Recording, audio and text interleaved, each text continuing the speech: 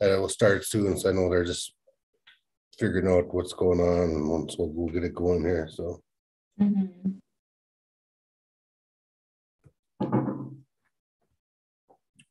It looks like we are on YouTube live.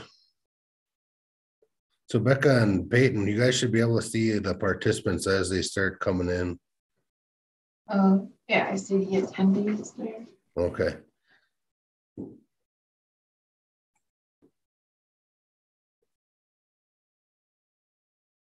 Okay, looks like there's a lot more hopping on now. Mhm. Looks like we're at eleven attendees.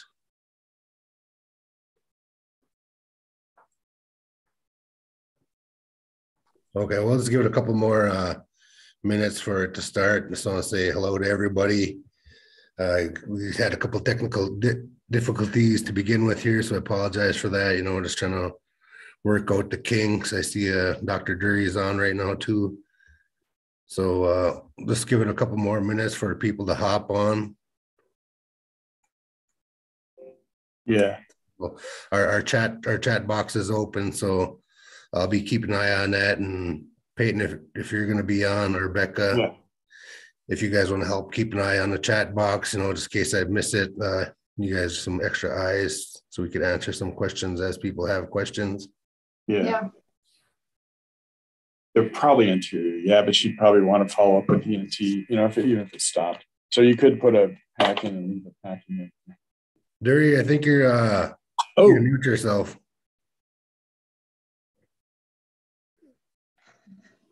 There you go. There we go. Okay, so we are at about uh, 13 attendees with our five panelists. Um, yeah. So I guess we'll hop right into it. So I'll begin with our uh, our welcome. So Bindigen, Buju, Minogijeb, Anishinabeg. Uh, so I just said welcome, hello, good morning, Native people. Uh, Nien, Nijin, Dishinakaz, Jas Kubanesi, Nigabiwi. My English name is David Morrison Jr. I said uh, I have two Indian names. Uh, Jas Kubanesi is a bluebird, Nigabi Nigabiwi is one who was head of everything. Uh, Nidu Dame, Name. My sturgeon, my clan is uh Sturgeon Clan. Nian Asabikane Zagi Igun. I'm from Nett Lake. So I want to welcome everybody to our Healthy Heart Conference. Our topic for today is about heart health. We planned this conference for February since February is American Heart Month. Our first presenter is Peyton Collins, who is currently the culture coordinator here at Bois Forte. Uh, Peyton's done some of the, some many events she's done for our community for the traditional healing program. Uh, some of the stuff she done was Ojibwe language, drum teachings, winter storytelling, traditional medicines, the process of asking for your Indian, Indian name, four direction tobacco ties. Uh, you know, she utilized local band members. She's also utilized community members and people that are willing to share and teach their knowledge for those who want to learn about our, learn about our culture. You know, I applaud her for her passion and energy she brings to the people of Bois Forte. And Peyton, I just want to know that you are an asset and I really appreciate everything that you've been doing. And, you know, it means a lot. Granted, you know, sometimes we don't get the participation that we would like. But, you know, if we could reach uh, one person, I consider that a victory. So, you know, um, again, thank you, Peyton, for everything that you've been doing for our community. And just a short amount of time here, you, you showed to be a, a asset for our community. So, without further ado, I will uh, welcome Peyton Collins. She will be talking about stress effects on the heart. So without further ado, I'll turn it over to Peyton. Let's switch. Um, should I be done by like nine thirty then Uh, you could just, yeah, we'll just wing it to go as, as needed and uh, just do your presentation. Whenever you get done, we'll just leave uh, Q and A's for the end of each presentation. Okay, sounds good. All right, I will share my screen. But here. I'll show from the beginning. Indinoy Maganag,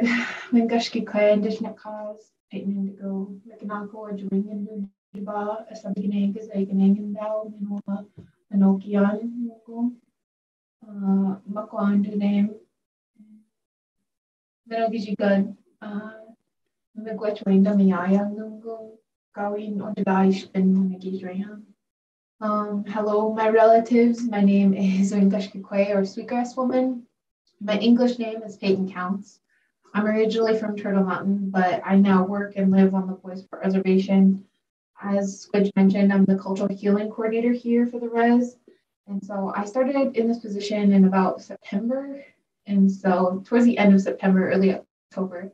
And when I came into this position, what I really wanted to do was find a way to make um, just cultural knowledge and ceremonies more accessible for community members and trying to have people just have more opportunities to learn stuff that they might not otherwise have access to and stuff like that. And so as Squidge mentioned, you know, I've been doing some a lot of events via Zoom. I've got one coming up in March where we're going to be making tobacco pouches. And so I'll be sending out information on that to the listserv, to the work listserv. And if you guys are interested, I will have a registration for that just because we're like having everyone, we're going to provide like the leather and all the materials for people to do it. So if you guys are interested in that, please feel free to look out for that email. Um, and if you guys have any suggestions of people to talk to or things you guys want to see, I'm always open to hear what community members want. Like, I feel like that's kind of the point of the job is to be able to talk to the community and see what the community wants and needs and try to bring that and make that happen. So, um, but today we're going to talk a little bit about mental health and heart health and kind of the connections of that and maybe some ways that you guys can take care of yourselves. Um, I like to start off with this quote. It's from a Canadian First Nations elder. It says, Silence is dangerous when we pretend the problem is not there. Communication is a healer to break the silence. And so to me, that quote really can encompass a lot of different things. But when we think about our mental health, our heart health, um, sometimes people don't really like to talk about those things or really kind of struggle to maybe ask for help when they need it. And so to be able to really open up that communication with somebody else and really reach out for help is the biggest thing that you can do to break the silence and be able to help yourself. So when we think about heart health, you know, our heart, it pumps the blood to our bodies, it's taking care of us. Um, but there's actually a lot of connections between heart health and mental health. And so nowadays, like you hear a lot of people having like anxiety, depression, and so a lot of things that are like stressing people out. And what what's interesting is there's a connection between the rates of people who have anxiety and depression and the rates of people with heart disease. And so there's before doctors didn't really think there was a connection, like they thought maybe there's these correlations that happen with people who have anxiety, depression, and also heart disease. But now there's like more research going into the actual connection between those things. And so for certain types of heart disease, um, like heart failure, people actually are more likely to develop anxiety and depression. And so when you think of that link, so when you have like anxiety and depression, you also have higher rates of unhealthy behaviors. And so what we think of when we think of unhealthy behaviors is, you know, smoking, whenever you're stressed out, you might have a cigarette, drinking, that's a depressant not taking your prescribed medication. So whenever you're doing these things, maybe you're drinking a lot, or maybe you're just kind of forgetful, you might not be taking the medications you want. Or some people might have negative connotations toward medication or um, just don't want to take it. And so then they're not taking the prescribed meds that are there to help them. And also, additionally, overeating, an unhealthy diet. Oftentimes, like if you think of somebody who's depressed, people often have this image of somebody who's like crying, like eating a tub of ice cream or something on their bed. And so, like, if you think of that, um, whenever you're not feeling great, like in your mind, sometimes you are just like, I'm not feeling great. So I'm just going to kind of do things that maybe make me feel better. Or um, I'm going to have a little bit more grace with myself when I'm going to eat this chocolate cake because I normally wouldn't, or something like that. Um, but whenever you do those things, you know, it's about these habits. So if you're doing that once in a while, that's that's fine. Everything in moderation. But if you're doing that as like a consistent every single day, I had a bad day, I'm gonna eat some ice cream. I had a bad day, I'm gonna do this. You know, those things develop as patterns. And the longer you do those things and the more often you're doing those things, the more effect that they're going to have on your body. And so, additionally, when you're eating crappy, you usually feel crappy and you're not really as motivated to get up and work out and kind of move around a little bit. And so, maybe if you just ate a whole pint of ice cream, you're not really ready to go on a run, or I never am, anyways. And so, it like all of these things are connected. And so whenever I think of like our bodies, I think of like and just like ourselves as people, like I think of it as a circle. And so like whenever we think of like our mental health, our physical health, our emotional health, um, and physical and spiritual health, like if one part of your circle or one part of your wheel is deflated, so maybe you're having a really hard time and you're eating really crappy, that's going to affect everything else. You know what I mean? Your stomach starts to feel bad. And once you feel bad, maybe you're feeling bad about your body, then your mind kind of starts to go a little bit too. And you're like, oh, I just feel terrible. And so we really can't run on a flat tire. And so, like, you can't just keep going and keep going when maybe you're not taking care of yourself mentally or whenever you're not taking care of yourself physically that's going to make it so much harder for you to do all the things that you want to do when you're just not 100%. And so it's really important to take care of yourselves and really target and pay attention to yourself and your body and those things that you really need. And so sometimes whenever people think of like heart health and mental health, a big question that people ask is what's the difference between a panic attack and a heart attack? And some people say you actually can't tell them apart, like when they're in the moment and happening. Some people who are having panic attacks genuinely believe that they're having a heart attack and feels like they're going to die, or it's really hard to breathe. Um, it feels like there's a really heavy weight on their chest. Um, people might have tingling sensations in their bodies. Um, but both of these things is it can be associated with instant onset, but the main difference is that you should pay attention to are panic attacks will typically come out of nowhere versus a heart attack will typically be after some sort of exertion. So maybe after walking a lot, or if you're really stressed out, like that's a type of exertion on your body too, right? Because your hormones are really at the top of the level. And so whenever you think of these things, your body can only sustain those things for so long. And so whenever you like if you're thinking about is this a heart attack or is this a panic attack, Typically, panic attacks will last anywhere from a few minutes to about 20 to 30. Um, but and they'll start to get better over time. But with a heart attack, it's typically going to get worse over time. So it's not going to start feeling better. And so, but if you're ever questioning or you're thinking, I would say just go to the hospital because you can never be too safe and sorry.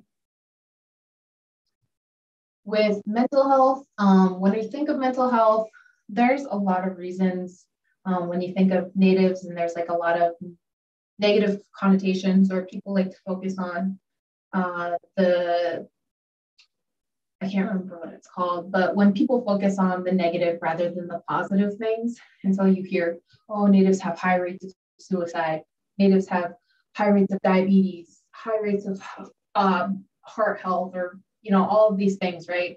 And it can feel really overwhelming to hear all those negative things that are happening and, and why are these things happening to Native people, right?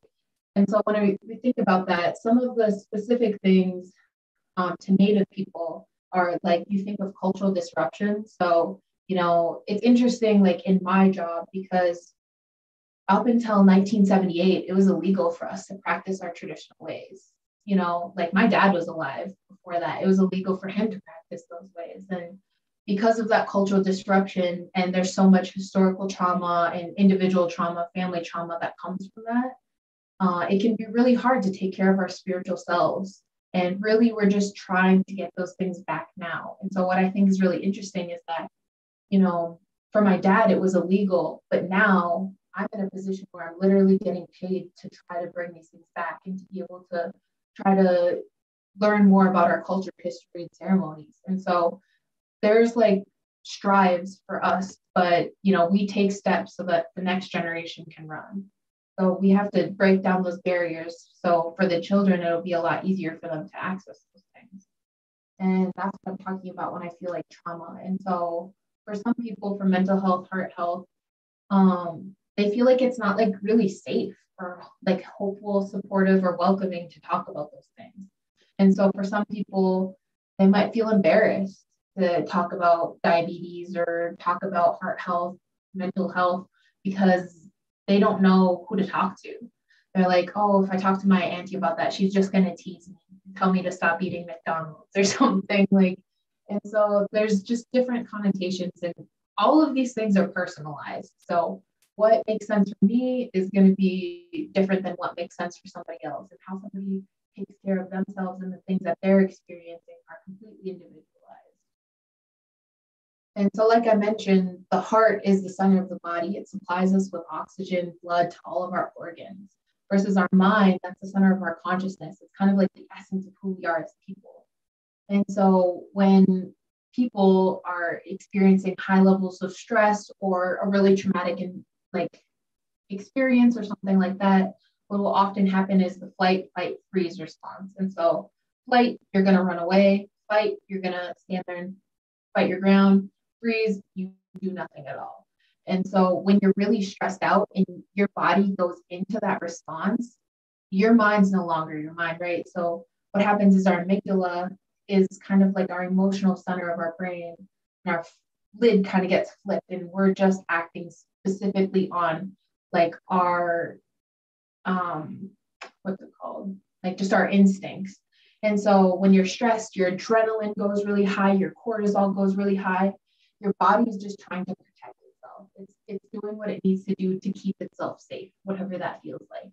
And so when you're doing those things and you're feeling really stressed out those things immediately go to your heart and feel it in your heart. So you feel your heartbeat going really fast and you're trying to slow yourself down, your blood pressure is really high, everything's in overdrive.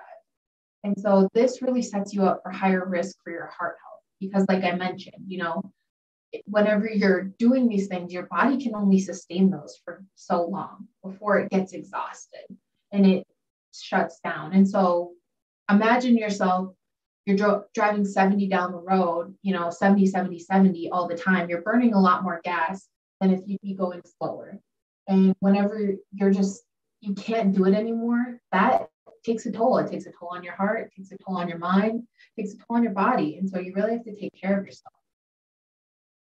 So when we think of at that point, you might be like emotionally exhausted, you might be really stressed out.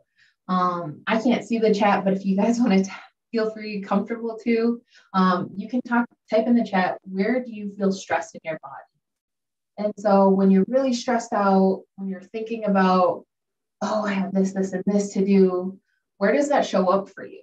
Does that show up in your chest? Does it feel like a ball in your chest? You're really stressed. Does it feel like in your shoulders? I know Erin Nurmi said her shoulders. Mm-hmm. It, it can show up in a lot of interesting ways. Some people, it shows up in their stomachs. The neck, upper back. Mm-hmm all of those headache, things. Headaches, stomach issues, sleep problems. I think that this uh, photo right here is a really good way um, to showcase kind of what that emotional exhaustion exhaustion looks like, what stress looks like for you. And whenever you're thinking about, you know, I'm stressed, but it's okay, your body will show you that you're stressed. You know, whenever you feel it in your shoulders, when you can't sleep at night, when you're overthinking, when you forget your keys three times in the morning, or you have to run back into the house right before work. Like these things really are present in your life if you're paying attention to them. And that's why it's really important to be in tune with your body. There was a comment, uh, the stomach, mm-hmm. neck, yeah. It's it's so interesting. And like what's interesting about it too is that it's so individual. How i feel stress is going to be different than how you feel stress. But even if you feel stress i feel stress personally in my chest a lot of times. It'll feel like a ball and it feels really really tight and maybe that feels like that for some of you guys too but i'm sure it's going to be a different sensation right and so whenever we're thinking of these things it can feel stressful to talk about stress. And so, how do we manage those things? So, steps to take to help are really recognizing some of the triggers. So, like I mentioned, what can you do to tell that you're feeling stressed in your body? That's a really big thing for you. Um, do you notice that when you're getting ready for work in the morning, you're always late? It's me. Um, are you like really rushing around the house trying to grab everything and get ready to get in the car and go? What are you, what is kind of showing up in your life that is presenting those truths? And is there something that you can do about it? So that's where developing support And so whenever people are developing support, whether that's support for themselves, right? I know I run late in the mornings. I should make a conscious effort to wake up 15 minutes earlier so I have time. That's something that I can do to support myself to reduce that stress in my life, right? So, whenever I'm doing self support, this can look like a lot of different ways. So, maybe, so every morning I get up and I offer tobacco. And I know that I'm running late every morning, but I really want to make time for that. Thinking about your priorities and how you're taking care of yourself. I know that offering that tobacco is going to help me out. And so I make a point to do those things. And so a few other things you guys can do is therapy. You know, when I say coping skills, a lot of people say that and people are like, what are coping skills? So that's like exercising, running, eating healthy, listening to music. Basically, the things that you know how to do that help you feel better is what coping skills is.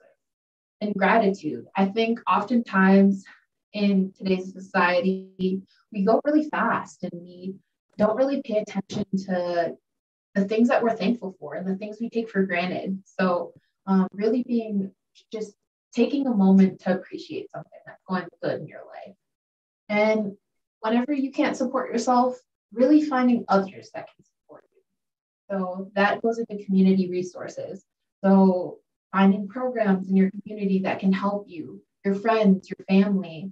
I'm going to go to the gym. Maybe we're going to start a group that's going to go to the gym, or maybe we're going to start a walking group And I'm going to check in on everybody and see, hey, have you walked this week? Or we're going to start a cooking class together. These are like so many different things where when you reach out and you expand your network, these are more people that you can check in with and hold yourself accountable to who can really check in on you and see how you're doing whenever you might not be doing that like that great. These are just some more examples of how you manage stress. Meditation is one that um, if we have time switch, I don't want to take too much time, but I do have a meditation activity that. Yeah, so we're probably got we probably got about three or four minutes left, Peyton. Okay. So I know there was a uh, another comment about you know when they feel stressed, they feel like crying way too much for seemingly no reason. Mm-hmm. There's another one, you know, reduce coffee for anxiety related symptoms. That's tough one for that person. Mm-hmm. Yeah, absolutely when you feel like you're crying too much, that's you know your body's way of just trying to release those emotions and that stress. And whenever you you're feeling so overwhelmed, it you your emotions will take over and they'll really it will feel like you're crying over nothing because you, you are like you're just so much in overdrive. And right. so you know, um, and I know you like, like the point that you brought up coping skills, you know, and it is it is really important for people to find that coping skill, you know, whatever you're struggling with or whatever problem you have. You know, it's mm-hmm. easy to go smoke a cigarette, it's easy to go uh, drink alcohol, it's easy to go smoke weed, it's easy to go do drugs, you know, just to to get rid of that stress. But you know, finding mm-hmm. that other stuff that you could do that yeah. might be healthier rather than adding on to more issues for your heart. Absolutely. And and I know you like I like the fact too that you also brought up historical trauma, and that's a whole different different animal. We could that could be a whole different presentation in itself. Mm-hmm. But you know, uh, I know if you are if you feel like you gotta cry, most of the time you should cry because it's not not good to hold that in. You know, it's just mm-hmm. your way of releasing that that tension. So yeah. If you got to cry, you know, cry, you know, as growing up as a kid, you know, you're told not to let people see you cry. So you're, you're keeping those emotions in when you should be letting them out. Mm-hmm.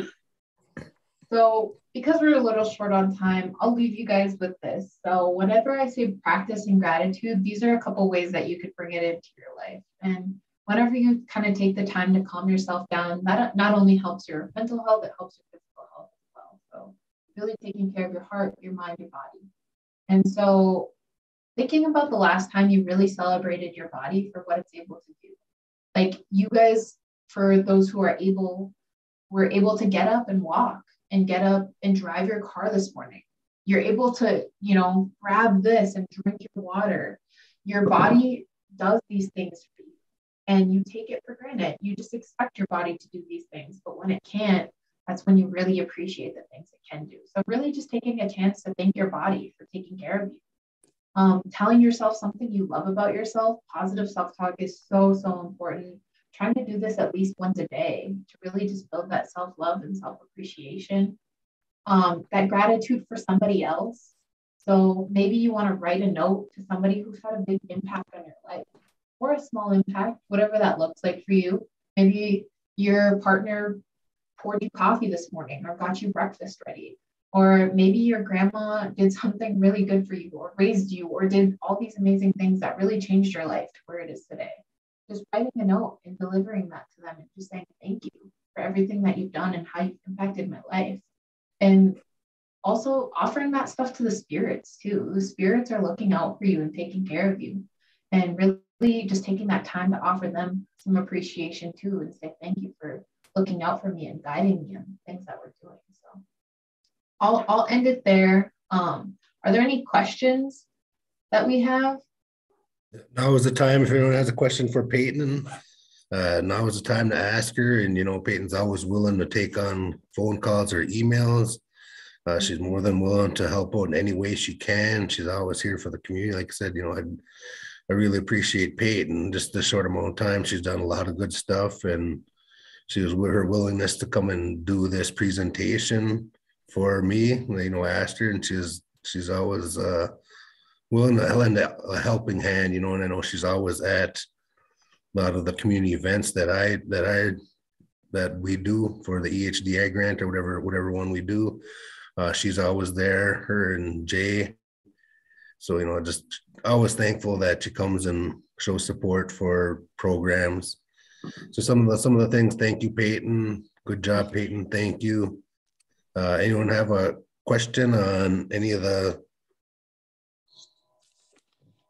Yeah, I know it's uh, it's uh, I know there was a comment here. It's too bad we couldn't have a support group, talking circle type of thing, uh, for her as a woman. She would appreciate that. You know, that's one thing too that we're hopefully we'll get back into being able to do in person stuff because I know a lot of times, you know, the people that we have on here now are pretty much staff. You know, there's a couple people that are not staff that are on here, but we'd just like to we do that outreach further. But it's kind of hard when when people don't have this access or whatnot. So mm-hmm. um, eventually, hopefully, we could get back to in doing in person stuff because I know a lot of people look forward to getting back in person and uh, the people that are that can do Zoom are kind of getting tired of doing Zoom. So, any other questions for Peyton? No. So I applaud you, Peyton. That was a good presentation, and thank you again. Um, thanks for inviting me, Squidge. And yeah, if any of you guys have any other questions or anything, feel free to email me. Stop by my office. I'm located in the behavioral health office upstairs. So, yeah, thanks. And yep, and if any of our uh, panelists also want to use uh, this time as a plug too, you know, do that as you as needed. You know, it's a, web, a different uh, way to get your information out there. You know, what what you're offering or what you're looking to do for the community or whatever. You know, anything you want to use as a plug. Our panelists, we will. You can do that here, most definitely. So, if there's no other questions for Peyton. Uh, any last last second questions for Peyton? Going once, going twice. Okay, I guess we'll keep things moving right along here. I know we're on a time frame here. So our next presenter is Becca Adams. She is our community wellness coordinator for Bois Forte. Uh, she will be talking about heart health foods. You know, Becca does personalized plate challenges, food dem- demos. She's also done one on one education for nutrition. She has knowledge about traditional foods. I know her and Amber designed the Minobimadizi plate, which means he, she lives well leads a good life, has a good health plate.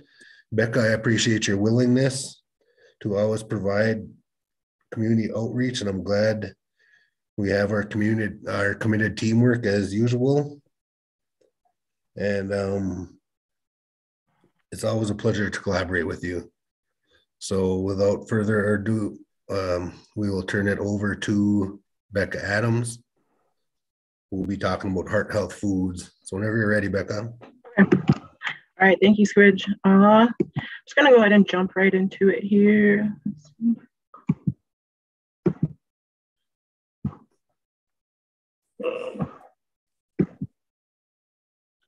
All right, thanks, Squidge. I'm just gonna go ahead and jump right into it. I have a lot of information to share with you guys today. So, um, so I'm here to talk to you guys about um, how we can take care of your heart through food and hopefully prevent heart disease. And so how much you eat or what you eat is just as important as um, uh, what you eat.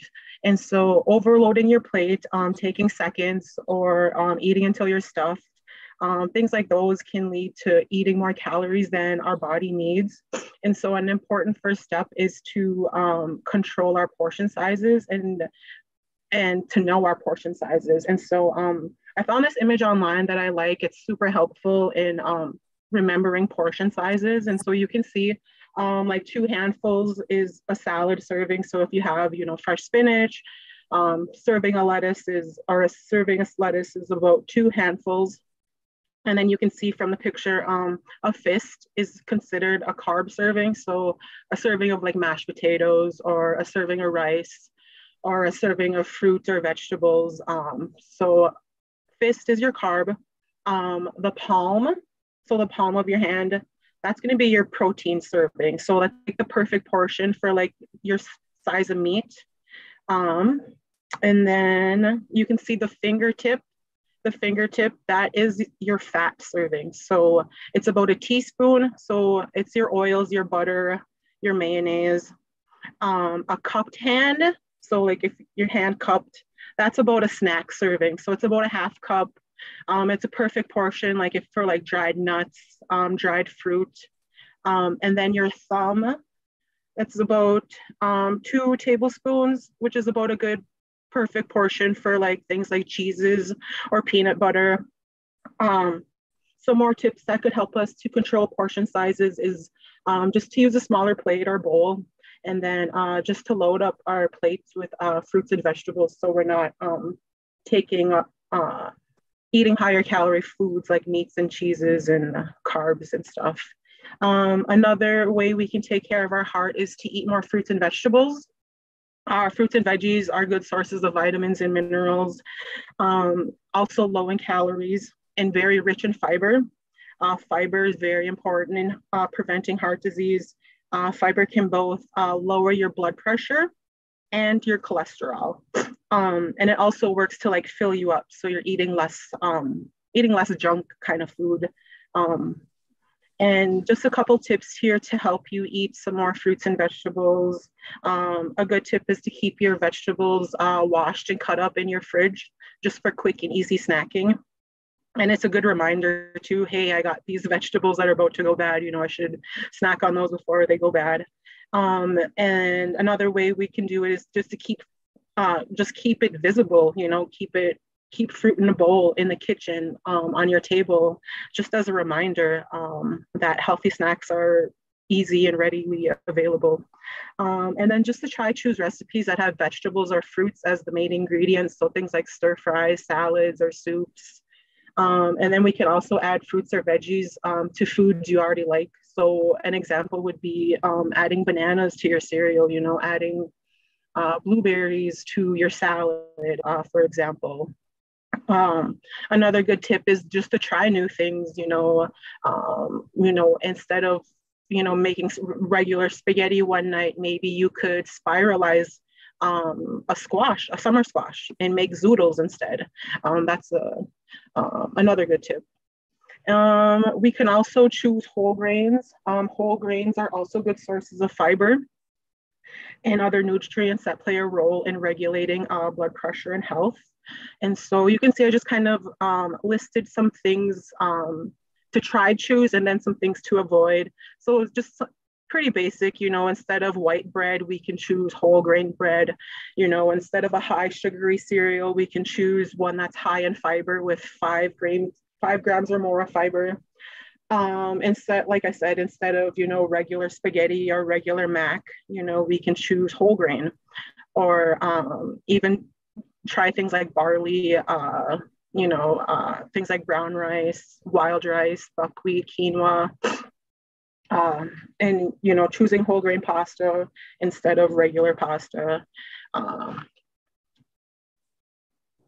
and another way we can care for our heart is just to eat more foods with omega-3 fatty acids. Um, so omega-3s are good for your heart and blood vessels um, in a lot of different ways.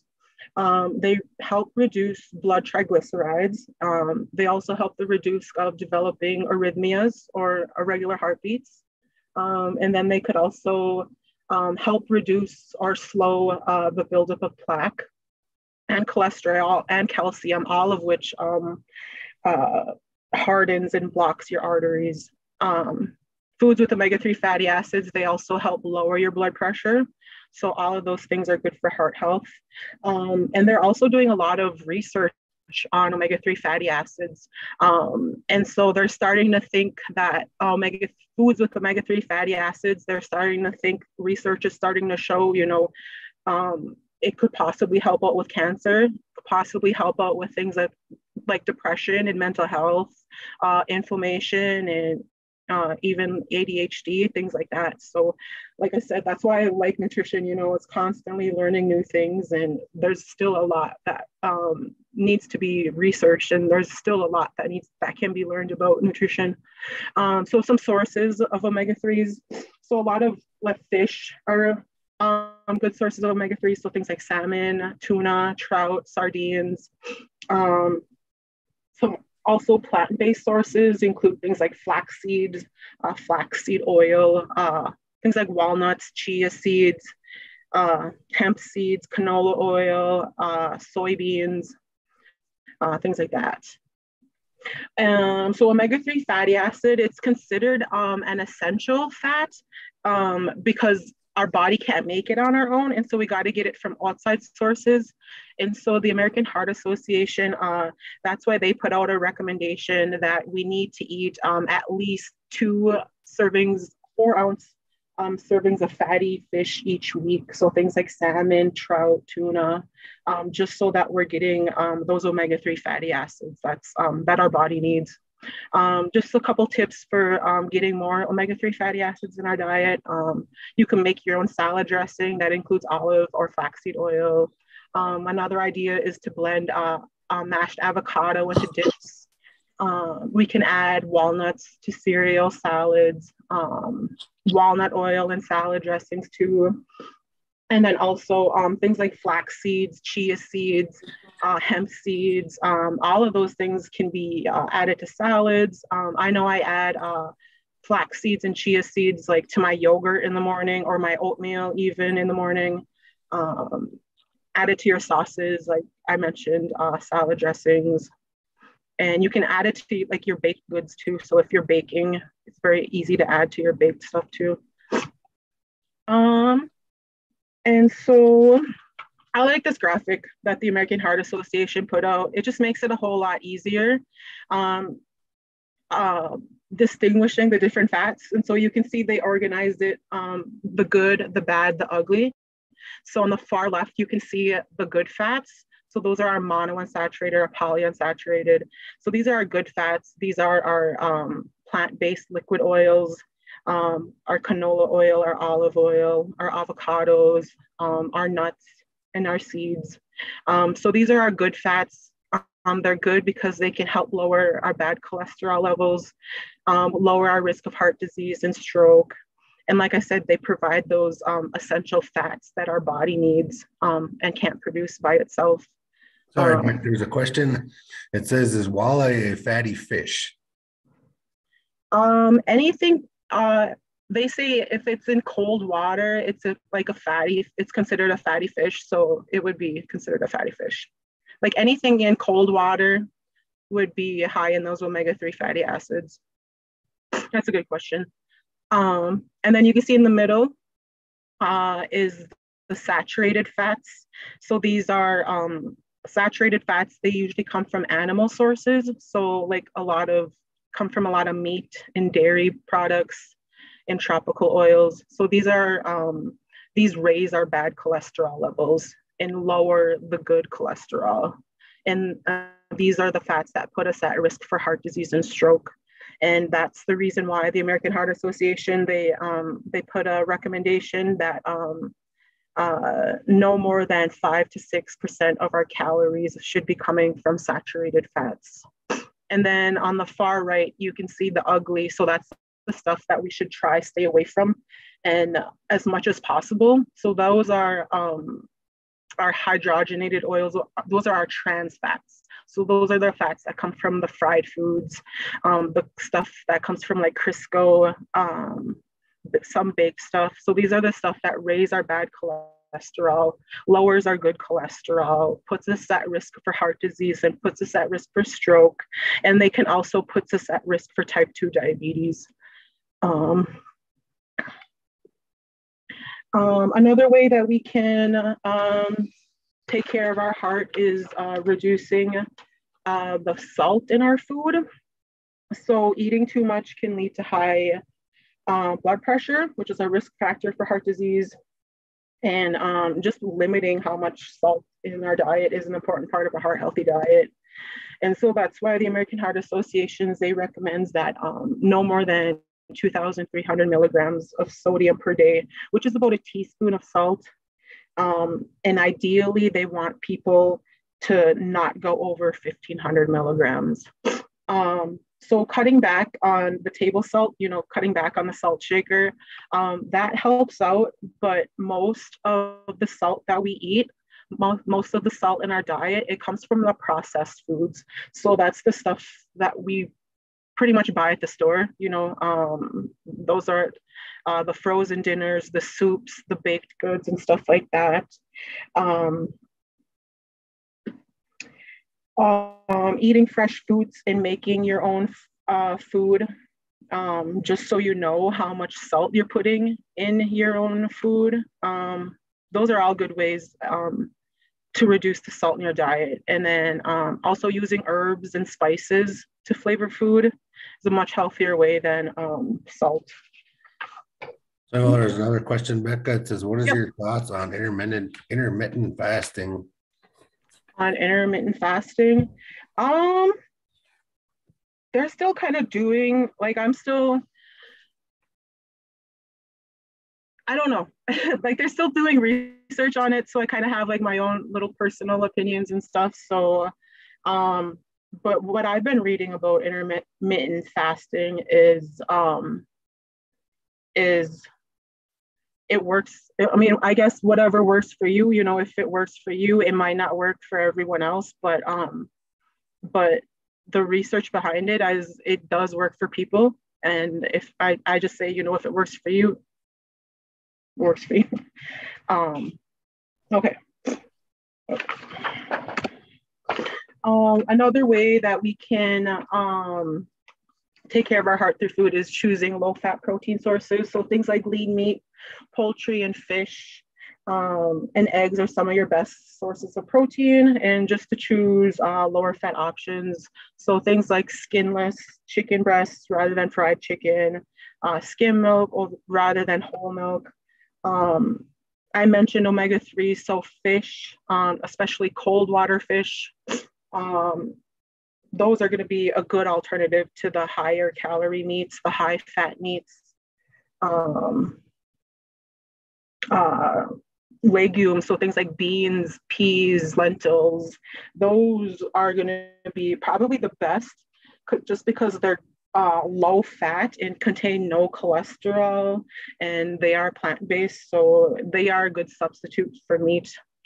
Um, and then you can see on the right there, just things, I mean, pretty obvious things to avoid, things that are bad for our heart. Um, a lot of processed meats. So things like our hot dogs and sausages and spam and bacon. Uh, And then another way we can take care of our heart is to uh, limit our sugar intake. So consuming too much added sugar can raise blood pressure and increase chronic inflammation, both of which um, can lead to heart disease. And then consuming too much over time can just lead to weight gain, which can, you know, contribute to diabetes. Um, diabetes, we know, um, puts us at risk for developing heart disease. And so, just because there is that link, there is that link between sugar and heart disease. The American Heart Association they put out um, they put out this recommendation. So they put out um, for men, for men to consume no more than nine teaspoons or 36 grams or 150 calories per day. And then for women, you know, we see it six grams or six teaspoons or 25 grams or 100 calories. Um, and just a side note on that, if you were to look at the nutrition facts panel on like a can of pop, you would see that um, you're going way over your limit already just by drinking one can of pop. You're already going your daily, you're already going over your daily limit for sugar. So I just kind of wanted to throw that out there, just how much sugar, people don't realize how much sugar we actually um, consume. Um, and just a couple other heart, another tips to prevent heart disease, just to, um, we can try different ways of cooking foods. So things like baking, broiling, grilling, uh, steaming, air frying, uh, poaching, just to add some variety. Um, and then another good tip is just to plan ahead, you know, um, plan meals ahead of time, uh, looking up, uh, trying new recipes. Um, I know the American Heart Association, they have um, on their website, they have a list of um, heart healthy recipes. Uh, uh, another tip is just eliminating or avoiding alcohol. Um, and then we know that tobacco, commercial tobacco, um, is a contributor to heart disease, and um, avoiding secondhand smoke is good for preventing heart disease too. Um, and then uh, just getting enough exercise, you know, burning burning the calories that we're taking in, um, aiming for at least 150 minutes of moderate physical activity or 75 minutes of vigorous physical activity. And that's a week you know and it does that doesn't have to be all at once you know so like 150 minutes that could be breaking up into 15 minutes in the morning 15 minutes in the afternoon. And if you do that every day for five days you know that's 150 minutes um and then i just wanted to point this out um you guys probably seen this logo um, like on menus or maybe when shopping in the grocery stores. Um, but it's a logo that the American Heart Association put out. Um, and it's just an easy way for um, the average person, the consumer, the shopper to know that that food is heart healthy and they're not trying to trick you. Um, and what this logo means is it just basically means is that food went through certain standards um, to be certified as heart healthy. And so it basically means that um, it has to have a good source of, nu- of beneficial nutrients that are naturally occurring, um, has to be limited in sodium, and then has to be limited in bad fats. And so I just wanted to point that out. You know, you guys probably seen that logo before, but it just means that that food is guaranteed to be heart healthy because it went through American Heart Association's their standards for healthy eating. Yeah, and that's pretty much all I have for you guys. I can't really see any questions, so. Okay, I got the questions here back if people have. Okay. Okay. So I'd like to thank you again, Becca. You know, your presentations are always good. You always have good information on how people could improve their heart health. You know, I know uh, just the stuff that I've gotten from you. You know, I, I do utilize the the chia flax and the hemp seeds in my uh, morning shakes, and you know that does help. That does help improve my cholesterol. Um, so if anyone has any questions for Becca, now is the time to ask them. And like I said, Becca, you know, she's always willing to do one-on-one. I know she's done uh, her and Amber do food, uh, cooking classes. I said, she designed the the My Plate in our Ojibwemowin, which has some really good information on there. And you guys still have uh, copies of those, Becca? Uh, yeah. Yeah, and like I said, those are those are really good stuff on there. You know, has a breakdown of our traditional food uh, activities. You know, what activities, how much calories you'll burn, and it's pretty detailed on the back too. So, does anyone have any questions for Becca? No, I like the fact that we're able to provide a conference for our, our people here that are on. You know, I, I really like that we would really hope that we'd be able to get more people.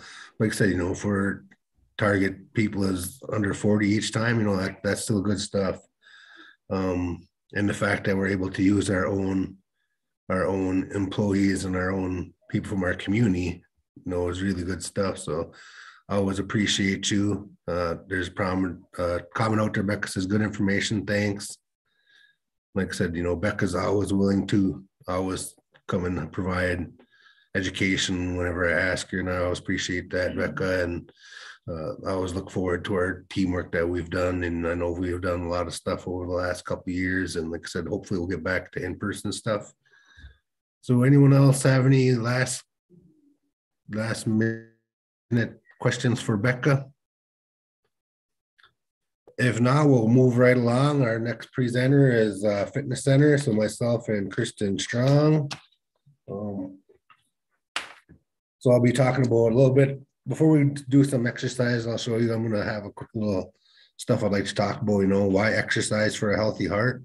So regular exercise has many benefits. You know, it could strengthen your heart and cardiovascular system, improve your heart failure symptoms, increase energy levels. You can do more activities without becoming tired or short of breath.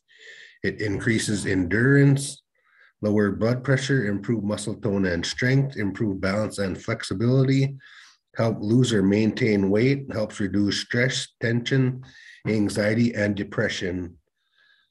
So how how do you get started? You know, before starting exercise pro- program, talk to your doctor. You know, fitness is a journey. We all have to start somewhere. Uh, you know, talk about safe exercises, get the doctor's approval before you start.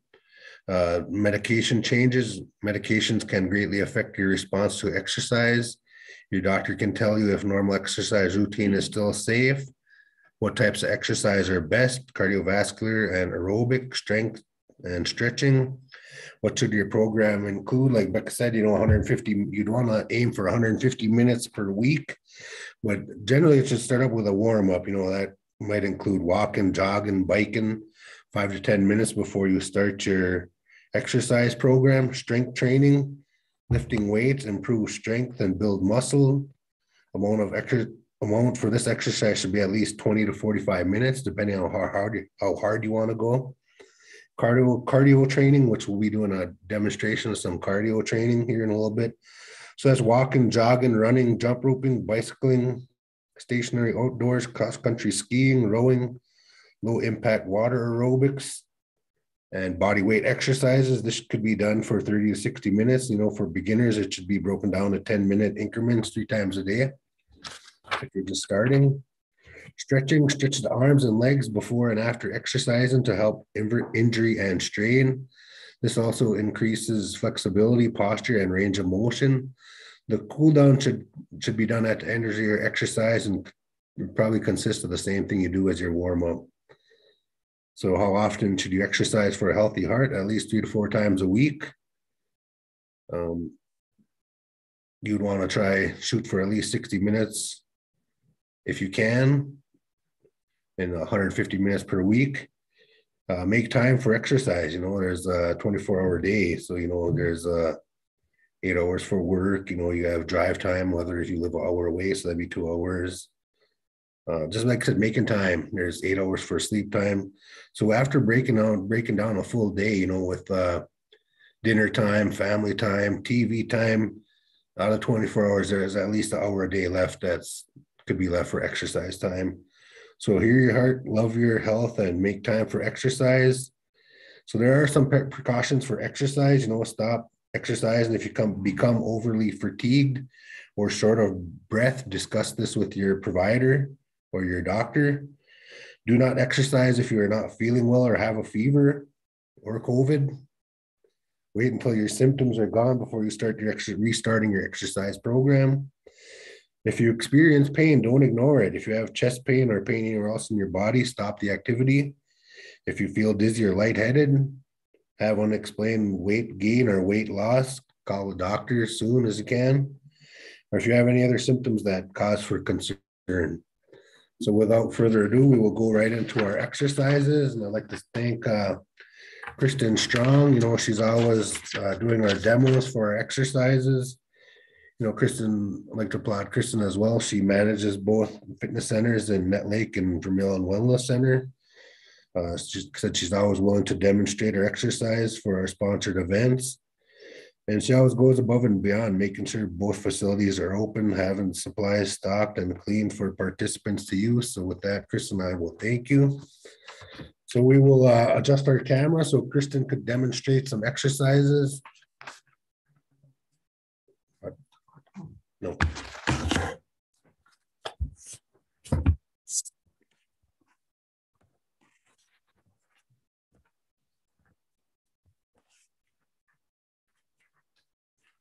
The first one, these are just some cardio exercises that, that can be done.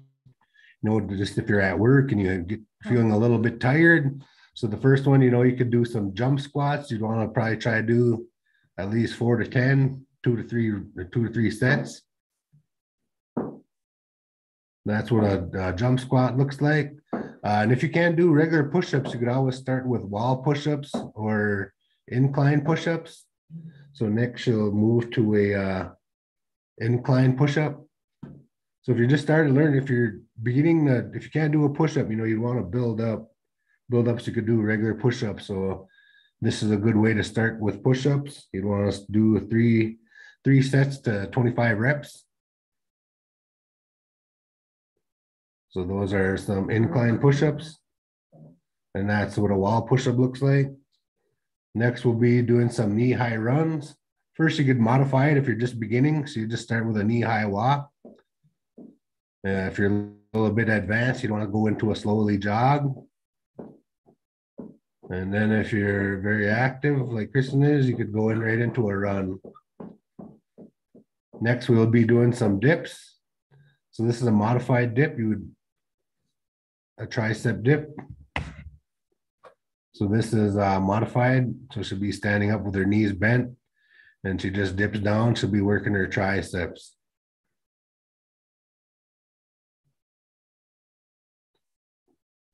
Next, we'll be doing an in and out squat.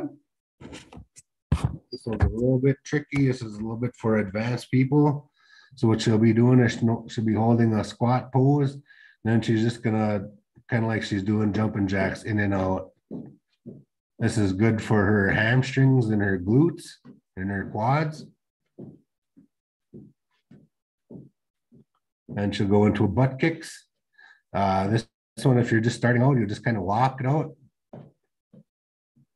As you're a little bit advanced, you would go into a slow jog. Into an all out sprint. Next one, she'll be doing a wood chop. This is just to get your body moving. Just kind of like she's splitting wood. And if she wants to go a little bit advanced, she could really split that wood. And now next she'll have to do her wood wood toss. So it's kind of like she's picking up wood. This one's just getting your, your lower legs moving, your upper body moving. Just a good way to get get everything moving. Next one is called a cross jack, which is a jumping jack. So this one, her palms will be facing each other. And as she's crossing, she's going to alternate her hands, which is why it's called a cross jack. So, yeah. So she's alternating hands as she's doing it. Probably want to go a little bit more to your side. There you go. And if you're just starting, you could at least, you could walk it out too. You could just do a side step for a moderate, mod, modify it. Yeah. That's a modified version. Cross jack, and then she'll finish with some punches. Like I said, all this is just to get everything moving. This is just exercise you could do right at work. And uh, I'm pretty sure Kristen will tell you, I'm pretty sure her heart is going. Yeah. I'm sweating. Oh, I forgot a hair tie. Ooh, I'd like to thank Kristen for doing that demonstration for us. Was good that she's willing to demonstrate site for us. Um, So we do have some nice prizes lined up. We have. Sorry, I got my notes all over here. So we have nine care packages, which include some hygiene items. It's uh, shampoo, soap, um, toothpaste, toothbrush, lotion. Uh, we also have some heart health food packages. We have ten of those for our participants. That includes a case of water, some old fashioned oats, some some Cheerios, and some nuts and some tea. Uh, we also have uh, from Peyton's program, we have the culture healing program. She has a slow cooker with indigenous food stories and recipe cookbook. She has a painting with a smudge kit. Uh, there's also a Gitchagami heart book with a smudge kit. Our community wellness program divided cook cookware kit. There's two of those. From our SUDS program, we have a wool blanket with a coffee mug and tote bag. They also donated a plush towel and a weave mug. We also have, you know, if you're on the go and you have electricity, we have a electric burner with a pan. We have two of those. We have a beverage dispenser. We have two of those. We for when you want to do like water, few fruit infusion water. We have a food chopper. We have two of those. We have an ultimate blender. We have two of those. We have two slow cookers. We have two sets of three cast iron pans. We have two Serta pillows, two Emerald air fryers. Our tobacco station program donated a wireless earbuds with a Yeti cup. They also donated a Bluetooth speaker and a beverage refrigerator. Uh, we also have some, uh, this is what our shirts look like. If, if you, if you look at it. Okay, we're having a little bit difficulty. You can't see our shirt. So without further ado, we'll move right along into our next presenter. Our next presenter is Dr. Dury. He is one of our main providers here at Bois Forte. And um, I know that I always see his car. He's here early and he's one of the last ones to leave. So to thank you for always being here for our community. And I want to say Miigwech for offering to provide our community with some community outreach. And Dr. Dury will be talking about how the heart works. So without further ado, I would like to welcome Dr. William Dury. Thank you very much. Can you hear me okay? Yes. Okay, I'm just gonna get this thing going and can you just, I don't really see what you see, so I'm not sure. Can you see that whole slide or are the pictures in front of it? Yes, I could see them. Okay. Okay, so first I just want to thank you, Squidge, for uh, for uh, my being able to be a part of this uh, conference. I really appreciate it, um, and I appreciate all the work that you have done organizing the athletic activities and conferences and so forth. That's so important in it. Uh, yeah, it kind of goes without saying, but thank you. Um, for those of you who who don't know me or haven't met me, I'm uh, Dr. Bill Dury. I'm originally from New Jersey. I moved out to Minnesota uh, in 1995, did my medical training in New York and in Minneapolis. And I've been here for about coming up on a year, uh, two years and a half now, two and a half years. Before that, I was with Essentia Clinic uh, as the town doc in Chisholm before they closed that clinic. So today's uh, uh, conference, because it's uh, American Heart Month, it's on uh, healthy heart. And this is an especially important one. I think all the health conferences are, are important. This is especially important. And it's because uh, cardiovascular disease, heart disease is one of the, is the leading cause of death in the US. Now I used the 2019 statistics because those had just been finalized last July, but 23% of deaths were, were related to heart disease, and that's between one out of four and one out of five.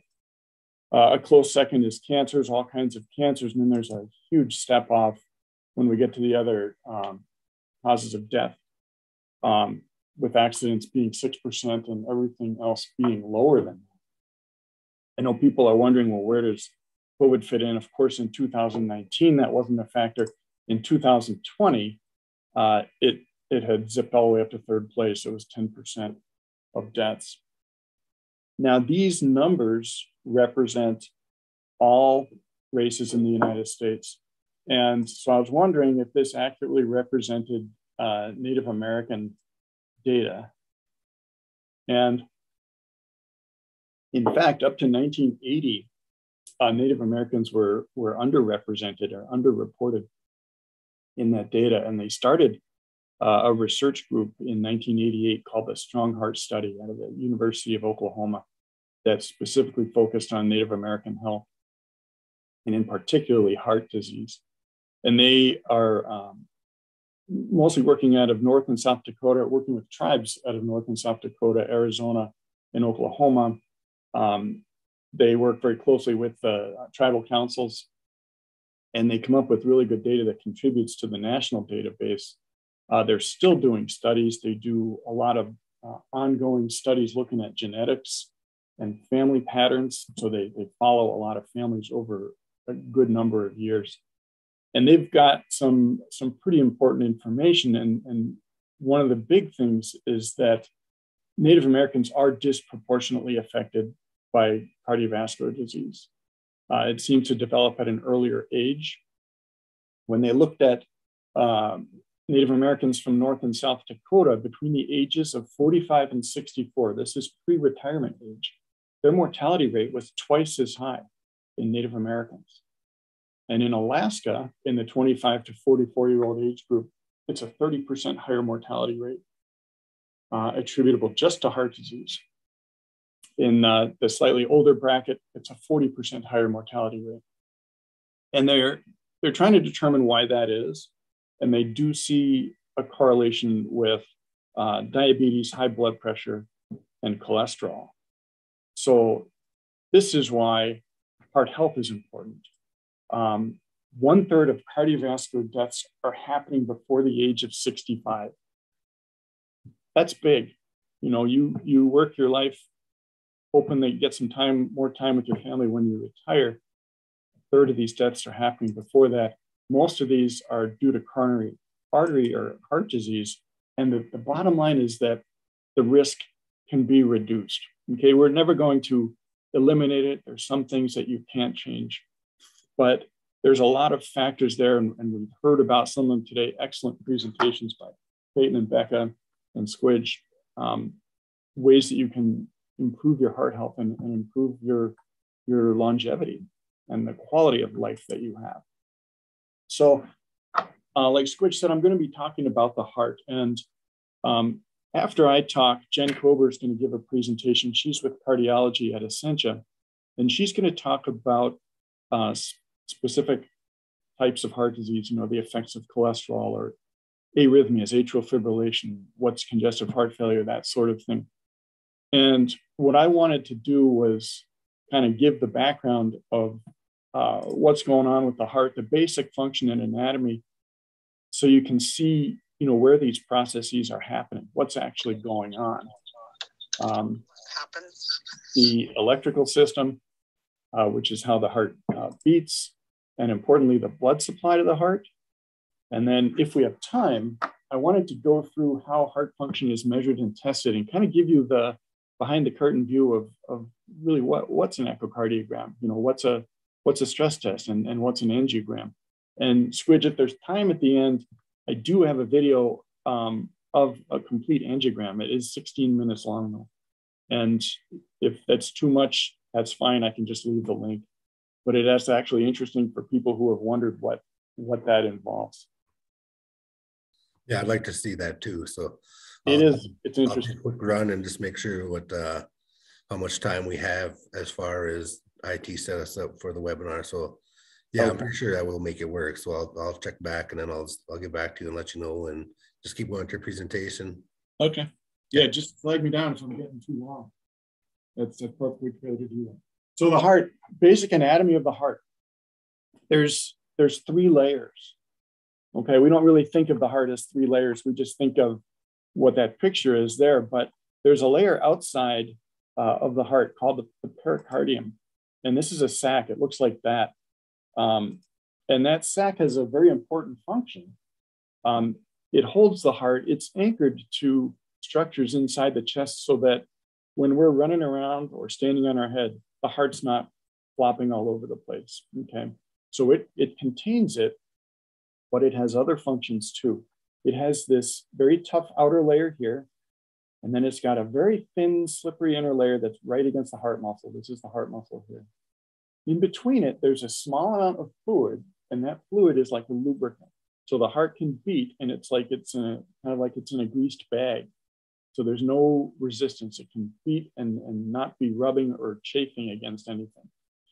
That also can be a source of problems. And I'm not going to talk about problems in this, in this uh, slide, but if that were to fill up with fluid abnormally, that could compress the heart. And, and those are things that, uh, that we watch for and test for. So the pericardium has the, those three layers, like I said, the outer thick protective layer, the inner layer, which just hugs the outside of the muscle of the heart, and then the inner uh, open sac that's got a small amount of fluid in it normally. And that's what it looks like around the heart. The next layer in the heart is the muscle, right? That's what we just think of as the heart itself, because the heart is made up of muscle. Um, this is the thickest layer, and contraction of that muscle is what provides the pump, to pump blood through the, the body. The inner layer is called the endocardium, and that's just like this really thin, slippery, smooth lining um, that allows blood to flow through the heart without hanging up on the heart. It just it um, reduces friction.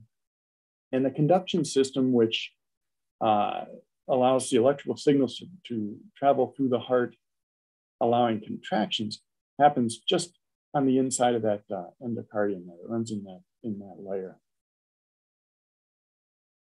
So when we think about the myocardium and the heart as we know it, when we think of the heart, is divided into four chambers. You want to think of it as two sides. There's that blue side, which is, they call that the right side of the heart because the heart's actually facing us.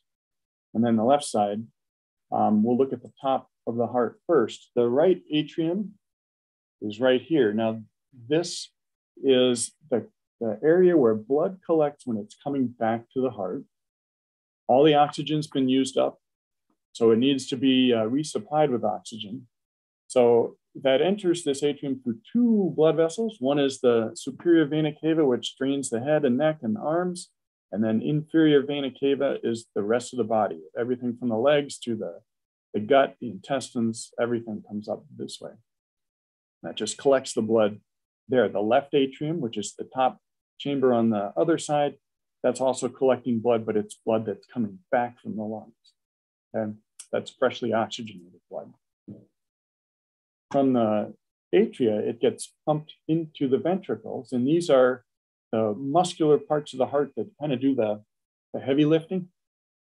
The right ventricle is accepting the deoxygenated blood and it's going to pump it to the lungs. It's all the right side of the heart uh, does basically is pump blood to the lungs where it gets recharged, reoxygenated.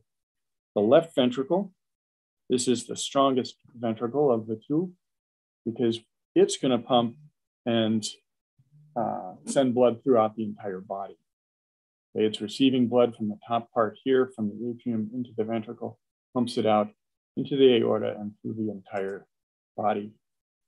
Now, the heart, when I was thinking about what kind of pump the heart is, it's like the bulb pump on an outboard motor.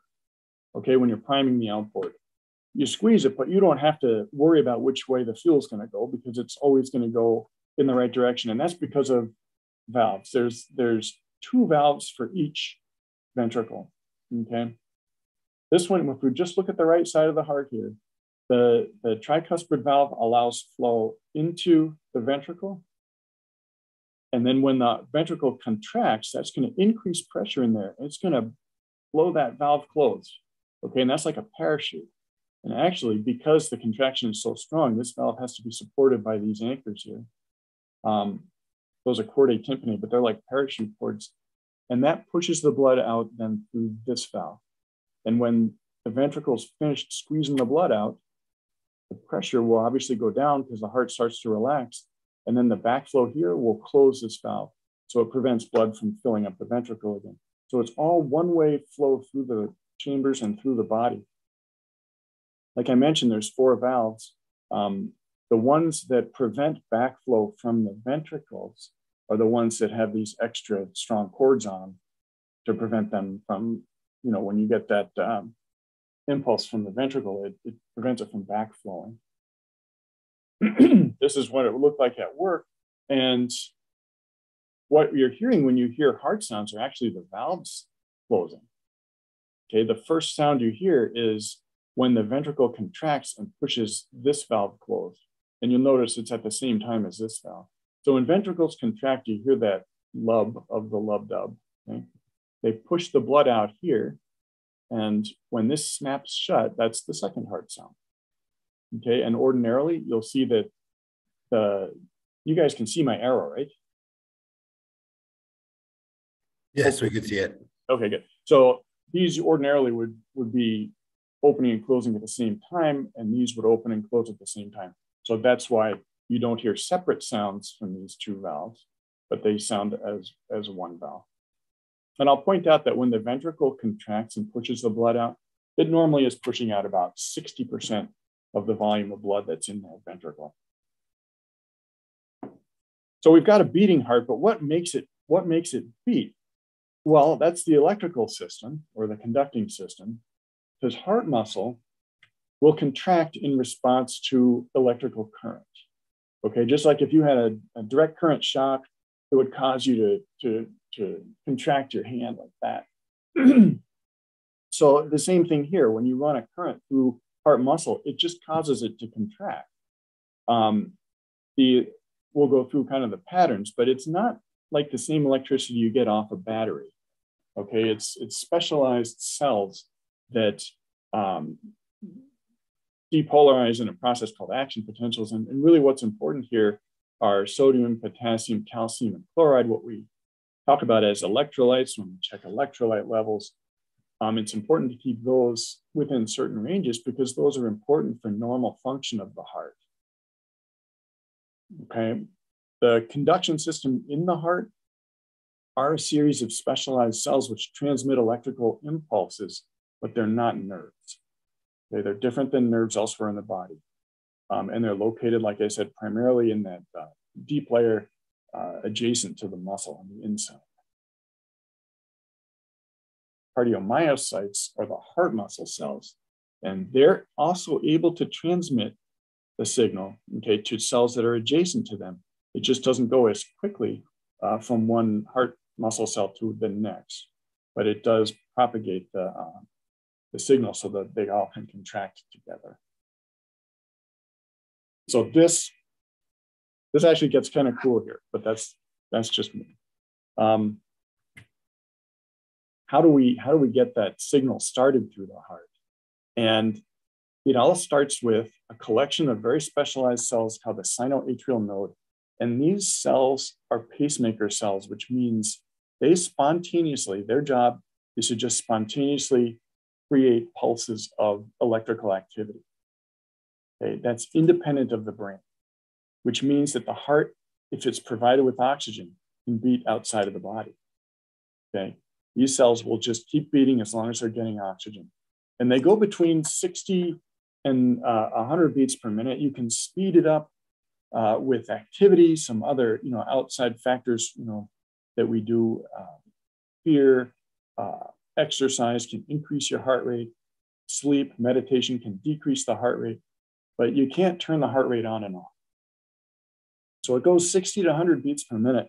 And this is 100,000 beats every day. And, you know, when I first heard that, I, I, I had to recalculate that because it seemed like a lot. But this is this is what taking something for granted, I think, is all about. Our heart is doing this 100,000 times a day on average without a 15 minute coffee break, without uh, a vacation, without a snow day, 100,000 beats every day. And that's, to me, there's reason enough that we should try to take care of it. Um,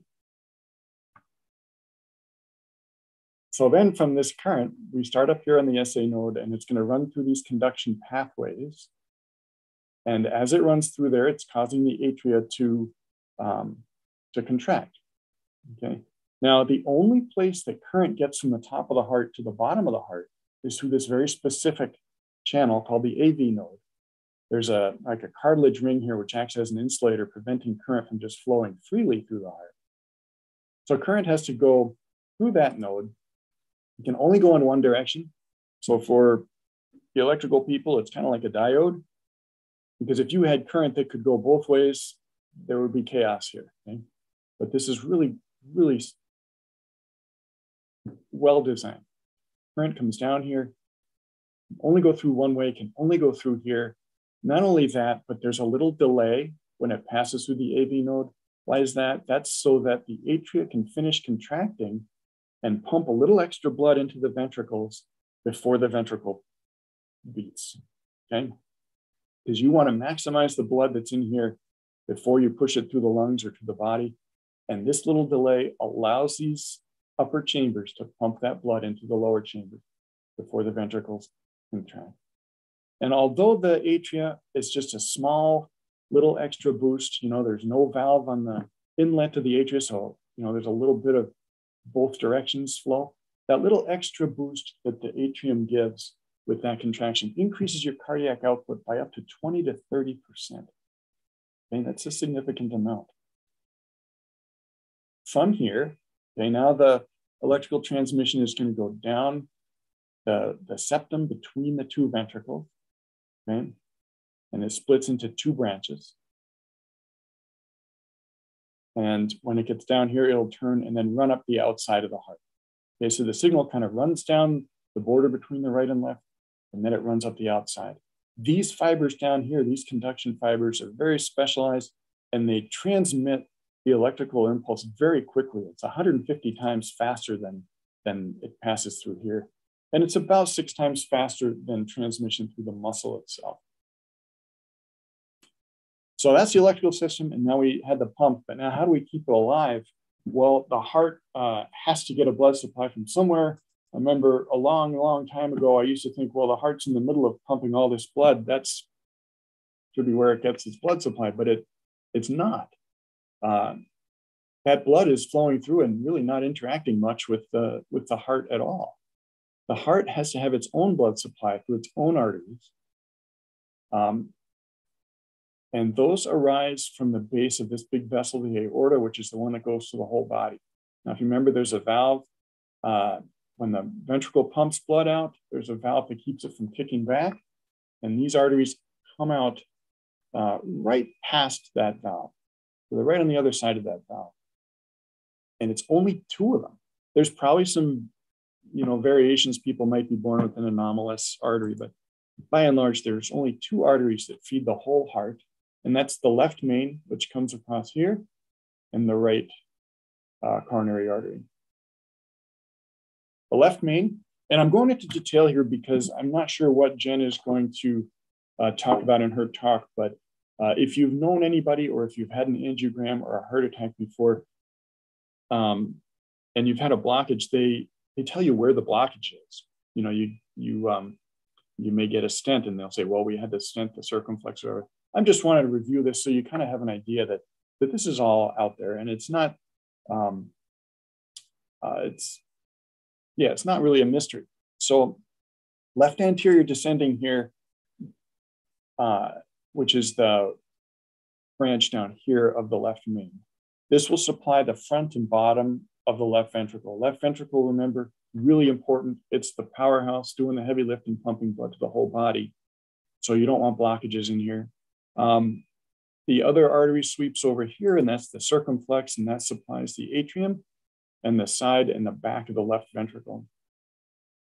On the other side, the right coronary artery has two main branches.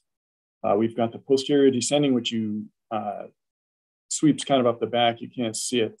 Um, and then you've got the right marginal artery. And those provide blood supply to the right ventricle, which is the one that pumps blood to the lungs, the septum between the two ventricles, and uh, the right atrium, as well as those two nodes that generate the impulse. Okay, so they're really you know important also because you've got to supply blood to that sinoatrial node so that you can generate your impulses, and you have to supply blood to that AV node so that you can conduct that that impulse into the ventricle. So very specialized purposes for both of these arteries. Now, I thought I would spend a little bit of time, uh, like I had mentioned, kind of going through how the heart, how do we test the heart? Why do we do it? Um, and if we have time, we'll, we'll get to that video. Um, I'd start with an EKG, kind of the most uh, basic. Uh, EKG just records electrical signals of the heart. Okay, we'll get a picture like this, and I'm actually going to explain what all those represent. Um, EKG is commonly done, it's painless. Uh, we do it here in the clinic. It's done in hospital rooms. It's you know a mobile cart you can push it around uh, and to get an EKG. These are standard equipment in operating rooms. Ambulances have them. Uh, ambulances nowadays, most of them have what's called a transmitting ECG uh, machine, which means they can do an ECG in the field and then transmit that result right to an emergency room uh, where it can be interpreted. Some smartwatches have a basic uh, ECG feature. Um, my Apple Watch uh, can do that. You uh, started tracing. It does not give you a 12 lead like this, but it gives you probably one lead like this one down here. And although you can't tell if you're having a heart attack, it can tell you if your heart rate is irregular and if you uh, might be experiencing atrial fibrillation or something like that. Oh, and I'll just mention, I say ECG, you hear EKG commonly. Uh, it stands for electrocardiogram, and the German for cardio begins with a K, and somehow it caught on a long time ago that it was uh, EKG, but they're interchangeable. So why do we do an EKG? Well, it's used to diagnose a lot of heart conditions in people of all ages. Um, it can detect abnormal heart rhythms. It can show changes that might suggest a, an artery might be blocked leading to chest pain or, or a heart attack. It can tell if you've had a previous heart attack frequently. Um, and it can look for abnormal conduction patterns in the heart. You can see some structural abnormalities like heart enlargement uh, on an EKG too, and some heart defects, usually the conduction defects. You might need one if you've had chest pain or dizziness, lightheadedness, uh, heart palpitations or uh, weakness, fatigue, trouble doing things that you used to do easily, but now you're getting all short of breath, a good starting place could be an EKG. There's uh, really no risks associated with EKG. And, and you know, when, when we talk about side effects of things, I, I usually never say never because everybody's different, but this is really a safe procedure. There's no risk of a shock because EKGs don't produce electricity. They only record electrical activity in the heart sometimes people will will get discomfort because the adhesive pads stick really well. So taking them off is like taking off a band-aid. And you can, some people will have a reaction to adhesive, but other than that, very safe procedure. If you were to have an EKG, um, it can be done in, in the clinic office. Usually a nurse will do it or a technician. They may have you change into a gown. Um, if you have hair on parts of the body where they have to put the electrodes, they might have to shave that off so the patches stick. But once you're all set, you lay on the examining table. The 10 electrodes are attached with sticky patches. You can breathe normally. Sometimes they'll ask you to hold your breath, but that's so that you hold still. You do need to keep kind of quiet. Um, and then a routine EKG only takes a, a few minutes, if that. Now, I debated whether or not I should put this in because it can look complicated on the surface, but I wanted to add this because this is the most interesting thing about EKGs, is what what those tracings really are. Okay, so you know those electrodes that are stuck on your chest. There's six of them that go across the front of your chest. And then there's four that are called limb leads, and they can go on by your shoulders and on your lower uh, belly or on your legs. What the, what the computer is doing is it's just recording impulses as it detects them. Okay, it just records them and then it's going to process them. And it kind of processes them like I I like to think of it as like those, remember those flip books? You could flip through the book and, and if there was a stick figure in it, you could see him move and stuff. Well, let's say you had a flip book of a, of a ping pong ball moving across a page, okay? So that's kind of what an EKG machine does is it determines with all these leads where the signal is, where the electrical current is, and then it processes it based on uh, 12 different perspectives. Like if you're sitting in 12 different places, I'm just going to zip ahead here. Okay. So if don't worry about all these lines and all that, but that is kind of what I'm talking about. We want to look at what the current is doing through the heart here. Okay. So let's say I'm sitting over here by the number two, it's a Roman numeral two. So if current is coming toward me, that will be represented by an EKG line that goes upward. Okay. If it's going away from me, and remember, I'm sitting over here on lead two. If it's going away, it will make the line go down. So let's look at this. Our current is going to start at the SA node here. And I'm sitting over here. It is where lead two was, remember? So I'm sitting over here. When the current's coming toward me, this line will deflect up a little bit. Now that's in an atrium. It's not particularly fast, but it's going up. Then it's going to kind of settle out as it travels through the atrium and come down. Then it's going to pass through the, the AV node, okay? And as it shoots down here, it's going to come toward me really fast. Remember, I said those are really fast conductors. So when, when current comes toward me on an EKG, the line goes up. So this line is going to shoot up. And remember, when the current gets to the bottom here, it turns and goes back up the sides of the ventricle, and that's away from me. So now the current is going to shoot down. Okay. Then we're going to level out after everything is, is done with that beat. And then this little wave here represents the ventricle getting ready for the next beat. Okay, it's repolarizing, it's recharging for the next beat. Okay, so now this is why that's important, is that we can get that, that report for all 12 of these perspectives. Now there's five of them here in blue lines, six of them in blue lines. The other six are in this plane that's not uh, parallel to the front of my body, but parallel with the floor, and that's these V leads. That's, you don't need to know that. But what we're doing is getting 12 different perspectives so we can see what the current in the heart is looking like from 12 different viewpoints, okay? So if we saw, if we look at um, what we had in lead two, which is this. If we now look at AVR, that lead, we should see something nearly opposite, right? Because when current is moving toward two, it's moving away from AVR. Well, let's just take a peek at that. Here's lead two, it goes up, and here's AVR, and it shoots down. See how that? So that's just a different viewpoint of the same thing. And all these are lined up so the vertical lines are all happening at the same time. So that's what we are looking at when we're looking at an EKG. And we can tell from that normals and not normals. This is a normal EKG. This is an abnormal EKG. This is an inferior MI. And I'll point out what the difference is. If you look specifically in this lead three here, we have the current going through the ventricle toward us and then away and it comes back to this baseline, and then you get a re recharging. If we look at the abnormal in lead three, it kind of goes down first instead of up. Then it shoots up, but it doesn't come down to baseline. It stays up here. And there's very specific patterns that we can look for and, and, and tell what's going on in the heart and where. So this happens to tell me that it's in the inferior part of the heart. There's also changes up here. This line is too low.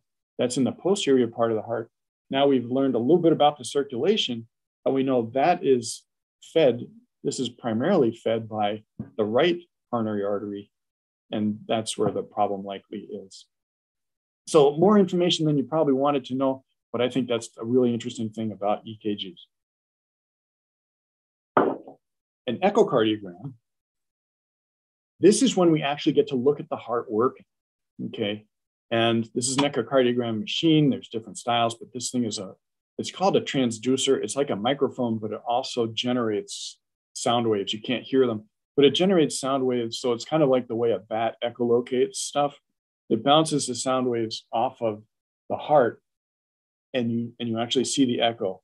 Um, so uh, you can actually see the heart as it's working. It's not even still still shots. You can actually see kind of movies of it.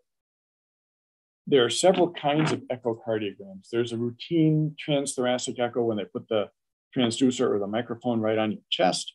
That's kind of the one I was going to look at here. Um, there's a transesophageal echo if they need to get a really close look at one particular aspect of the heart.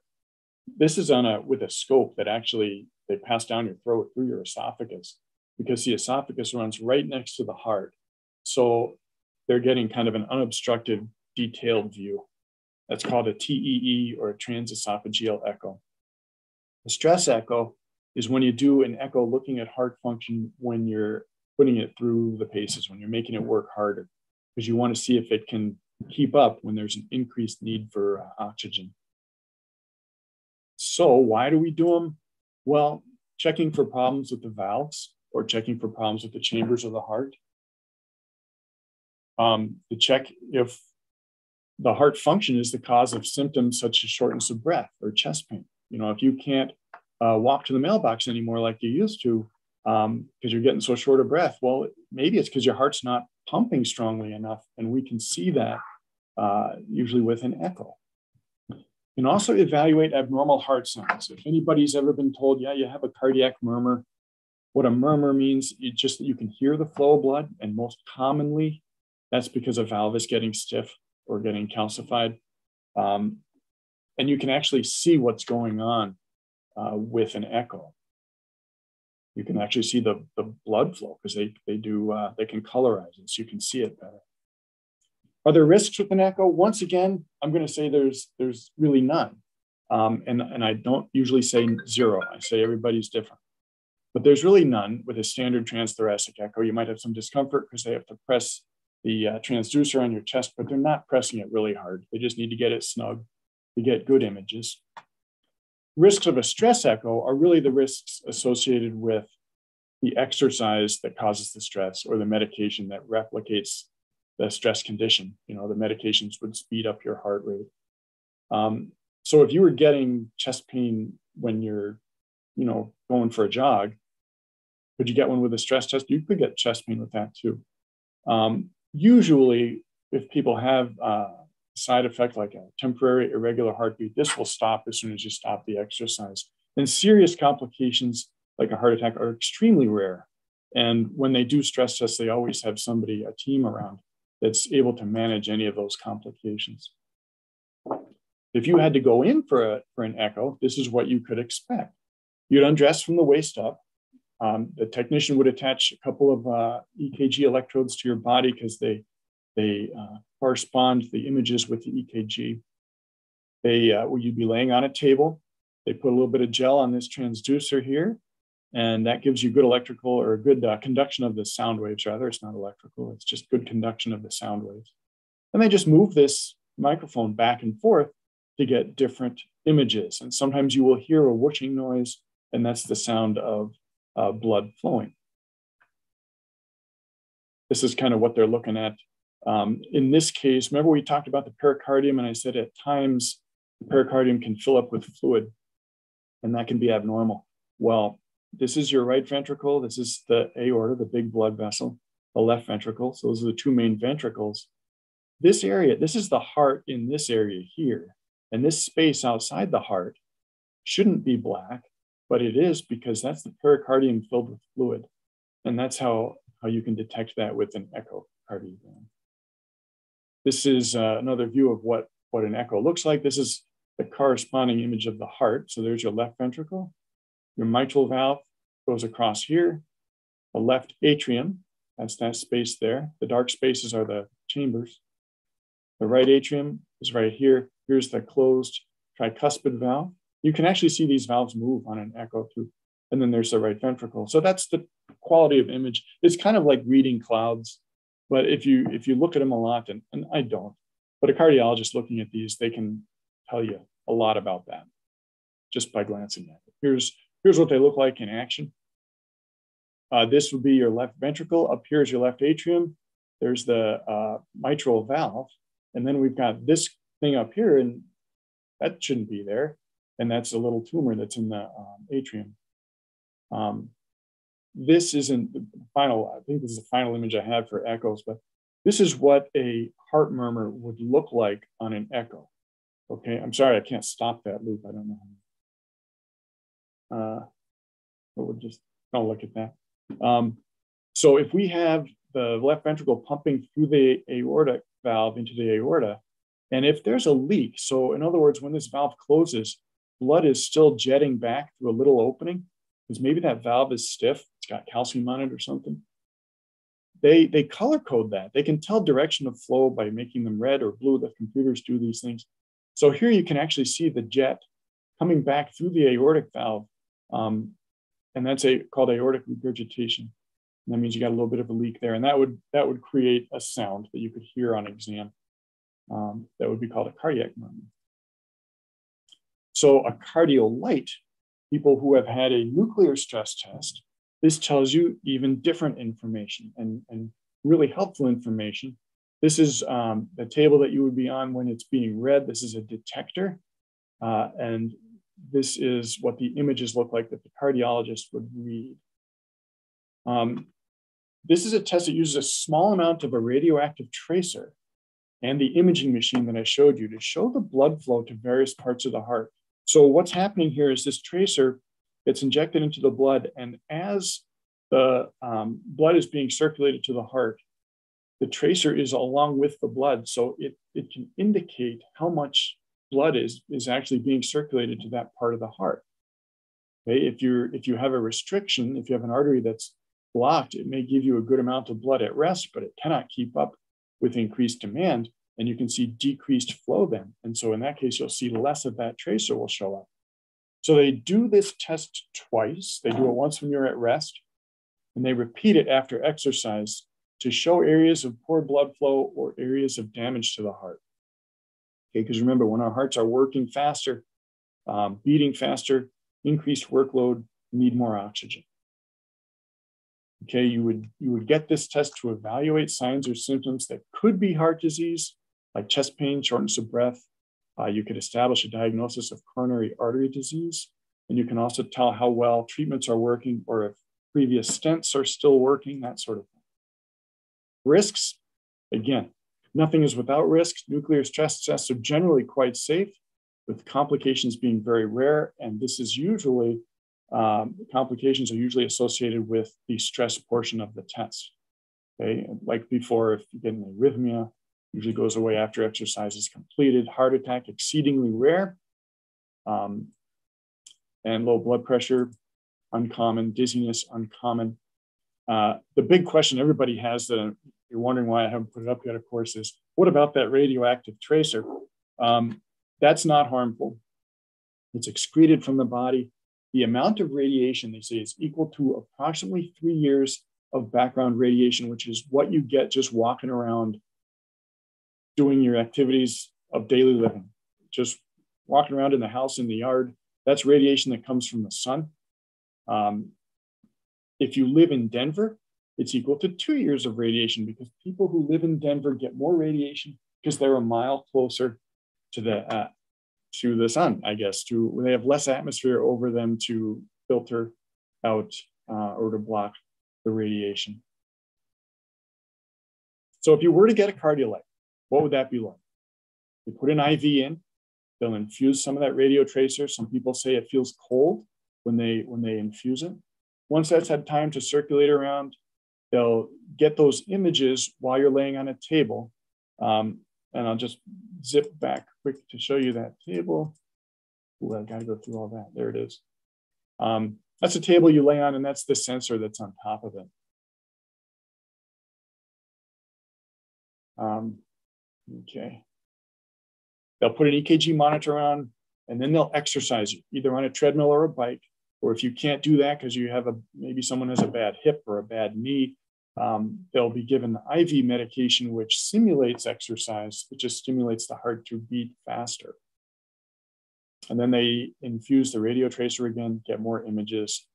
And those are known as the stress images. So the results, if you have normal blood flow during rest and during exercise, that's a normal test. If you have normal blood flow during rest, but not during exercise, meaning that you have decreased flow during exercise, that means the, the vessels can't keep up with the increased demand during exercise. So that means there's a narrowing or a blockage in an artery. That's normal during rest, but not during exercise. If you have limited flow both at rest and in exercise, it, may, it means that part of your heart's not getting quite enough blood all the time. So you either have fairly severe coronary artery disease and you might be getting chest pains even when you sit in a chair, uh, or you could have had a prior heart attack.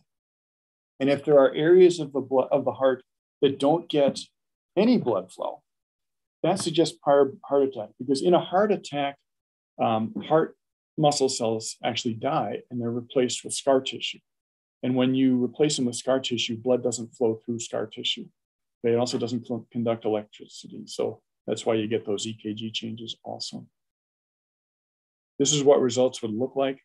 I don't read cardiolites, but I could tell you here is an example of normal and abnormal. So let's say this was a rest image and an exercise image. This would suggest that under stress, you're just not perfusing these areas of the heart. This is just a cross section.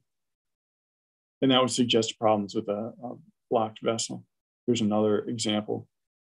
Uh, normal at rest, and that's that's coming down here.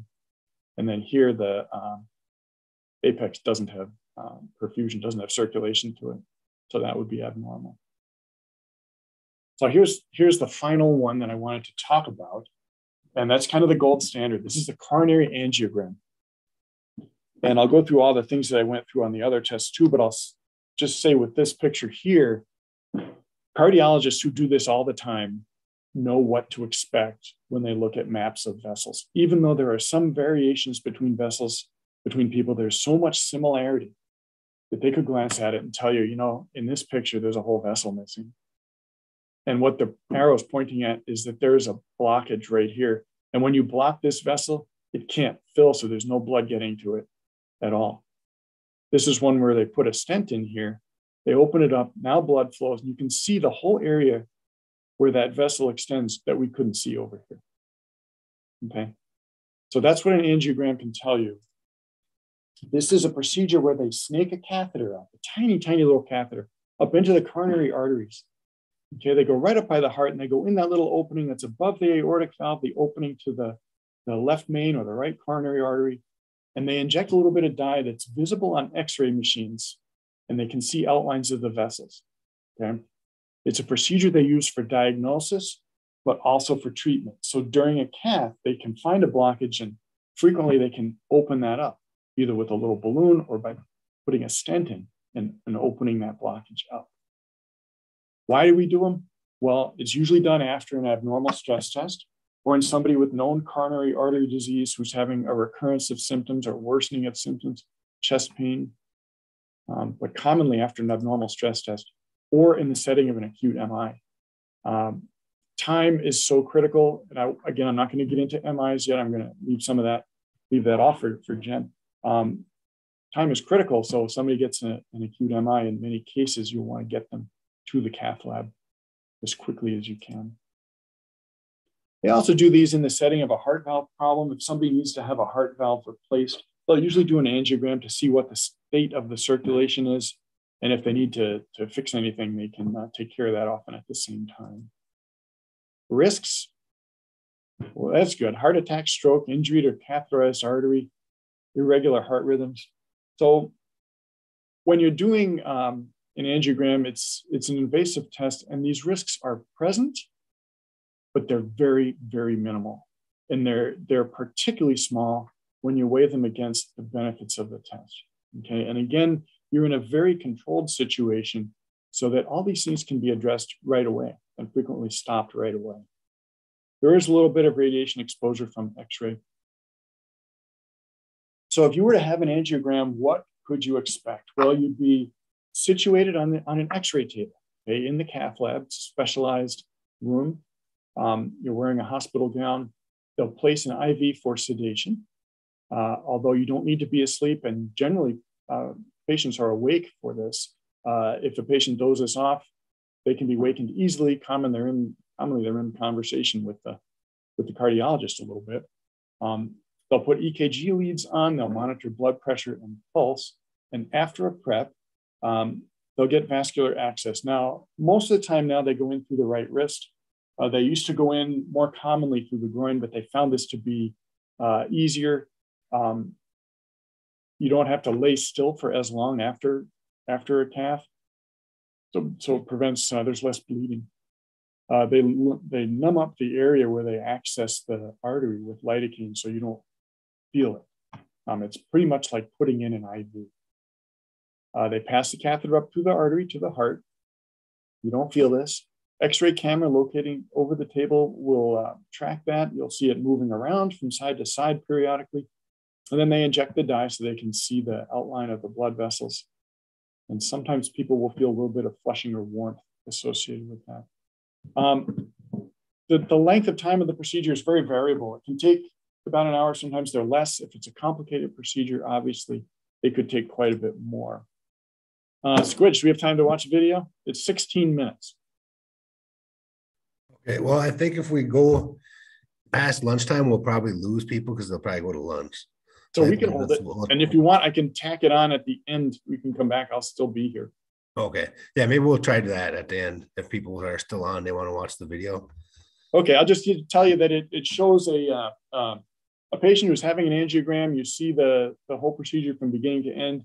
You get to see them do her her prep, uh, passing catheters up. Nothing about it is gross.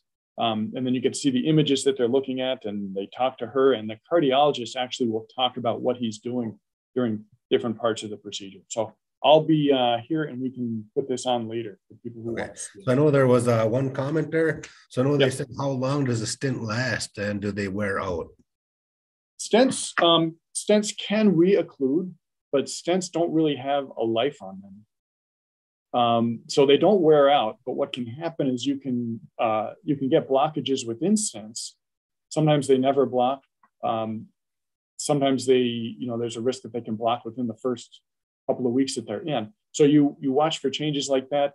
I've uh, had patients who have had stents inside of stents, um, but in generally they they don't have a, a, a life length to them. So there was another comment saying that you could, uh, if you want, you could send that link out for that YouTube video too as well. Yep, yep, and I have it here. Uh, but yeah, we'll we'll absolutely do that. Okay. So we'll or if you post a video, yeah, if you post a video, then it'll be in there. Okay. So I know we'll open it up for Q and A. So I did have a couple questions there, Dr. Dury. Yeah. I know what about like like your phone? You know, I know they say not to have your phone on uh certain spots. You know, it's like if you have your heart on the phone on your heart, could that have effect on it? Or also like a uh, you know, when they resuscitate you and they give you the shock, do those mm-hmm. have um effects on your heart? Okay. Um, the well, what the shock does is it kind of usually you're shocking a rhythm where the heart is quivering, so the electricity is running all over the place in there.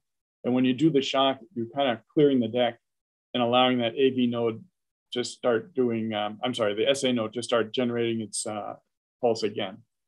Okay, so um, the trade-off, of course, is if you don't shock, you, you tend to only shock rhythms that are potentially uh, bad news. You know, sometimes you'll shock someone who's in atrial fibrillation. That's a lower uh, a lower strength shock that doesn't damage the heart. Um, it can bump cardiac enzymes, um, but it doesn't cause heart damage, and that's to get someone back in a normal rhythm. The question about the phone, um, I am not aware of any uh, direct damage that can be done from radiation of the phone to the heart. Um, I think they're still gathering data on you know people who are on their phone all the time, uh, and, and if that has any effect with you know neurological things or brain tumors stuff. I don't think there's any hard data on that yet. Okay. Um, well, no, they they say like those uh they send kind of certain whatever waves. Uh, I'm not sure if that was just a myth or not, but I'm probably um, wrong. Well, when you do the EKG on your on your phone, you're actually or on your watch, you're not holding it on your chest. And I don't know, I can't do it on my phone, but on my watch, I'm holding it here. And so there's a contact on the back of it that contacts my wrist. Okay, so if I start it, um, I have to put my finger on the dial here. So what I've got is like an electrode from my right arm and one on my left arm. So it's just tracing the current. You can't see that probably, but oh yeah. I can. That was at 2930.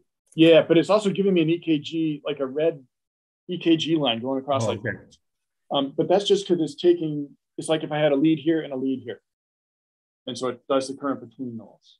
So it's not like we have 12 leads and get all that information, but it can tell me uh, rhythm. And that's, yeah, there's no phone. It's just direct electrical signal that it's picking up. So it's not giving anything off. Okay. So I guess another question, say somebody comes in and sees you or Jen and they're under the influence of drugs and it's causing them to have an irregular heartbeat. Could that lead to a misdiagnosis or anything? Um, potentially. I mean, it tells you, you know, see someone's in atrial fibrillation or something like that. Um, I think we would evaluate it the same way. You want to make sure that it's, you know, a stable rhythm, perfusing rhythm. If they're, if they're not, if someone's, you know, passing out or if they're getting chest pain, we're gonna, they're gonna be going to the ER to get a full workup. But you can precipitate problems with drugs, yes. Okay. And then my last question is like, so say I know we've um, starting to see more and more ODs, but so like Narcan, um, let's just say somebody ODs, they go out and you have to bring them back with mm-hmm. Narcan. Um, so I know like um, on Pulp Fiction, you know, they they did the old uh, where they had to do the adrenaline shot to the heart. So on uh, Vincent Vega, that that Lance is showing Vincent Vega how to to give an adrenaline shot to the heart, and they, they got that like that big needle that has yeah. to get to the breastplate. So now Narcan, you know, Narcan has obviously come a long way since then. But I was just wondering, um, uh, OD plus the adrenaline shot, does that have does that cause your heart to maybe um, die a little bit or anything like that? Well, I, you know, I don't think they're doing adrenaline shots directly to the myocardium. Um, you know, epinephrine is used in, in ACLS for resuscitation of certain rhythms and so forth. Um, Jen could address that better if she knows, but I don't believe they're doing that. Um, Narcan itself is not going to cause damage to the heart muscle. Um, anything that causes the heart to go a period of time without oxygen, you know, if if if you go into cardiac arrest, there's going to be damage. You're going to lose some heart muscle because it needs that blood supply. Right. Um, so there's damage from that. Um, resuscitation, we don't really think of resuscitation as contributing to the damage because you're trying to get the heart moving again so that it can pump blood to itself again. You know what I mean? So people that do OD, yeah, I know they typically tell them that they once they come back from Narcan that they should go to the hospital anyway uh, if people don't go back, you know, that that'll probably have a lasting effect on their heart and might cause further problems down the road, correct? Well, the trouble is that Narcan only lasts for so long. Right. And so they'll go right back to where they were before. Okay. And if they're so sedated that they're not breathing, because that's usually the order of things. It's usually you stop breathing, your oxygen levels in your blood go down, your heart can only tolerate so much, and then it'll flip into an arrhythmia. Right. So if you slip into that place again, that's the that's the risk. Okay. So there's another question here. It says, so what about the heart flutters? Is that normal or can it be indication of a problem? Well, um, when people feel palpitations, like an extra beat here and there, most of the time that's completely harmless. If it's what's called a premature atrial contraction, you just the heart gets a little jumpy. Sometimes caffeine will do that. Um, but if you're not sure, um, you can get it checked out because you can pick up you know rhythms on an EKG or if you're maybe if you're having symptoms I should say if you're having symptoms with it like I feel my heart kind of jumping around or going fast and I'm getting lightheaded then we need to figure out what's going on there because you probably are slipping into an arrhythmia possibly atrial fibrillation um, we have ways to pick that up even if it's not happening while you're getting an EKG because that's only a minute. You say well this only happens twice a day. There's ways that we can have you wear monitors for you know up to two weeks you know or 28 days. So we can we can pick up things that are intermittent that way. Um, But if you just have the occasional, ooh, you feel that kind of extra beat, or there's a pause, and then you feel a hard beat, um, that can be okay. You know, I mean, I, I don't want to tell everybody right now that all the funny beats they feel are okay, but I can say that if you have premature atrial contractions, which are that, that occasional extra beat or early beat, followed by usually a little bit of a pause, that can be okay. But if you're getting a lot of them, probably should check it out. So there are a couple more comments here. So uh, another person says, so doing something is better than doing nothing when it comes to concerns about heart, about damage to the heart. I feel people Right. are so scared to do something, but there is the Good Samaritan law. Um, oh, oh, are you talking about like resuscitating somebody who's down? I, I think that's like they're like even shooting Narcan or whatever, you know. Oh Um, yeah. Yeah, I mean, if your if your intention is to is to save someone, and usually you're in a situation where it's, you know, it's important. You know, it's not just if somebody's sitting there mm. talking to you and and they're breathing okay. You know, unless they're complaining of chest pain or something, that means they're breathing and they're circulating. If they're unconscious, now you don't know. I, I mean, you're unconscious. Are they breathing? You want to check that. You know, if they're not breathing, that's a priority. Then you check the, you know, check pulse.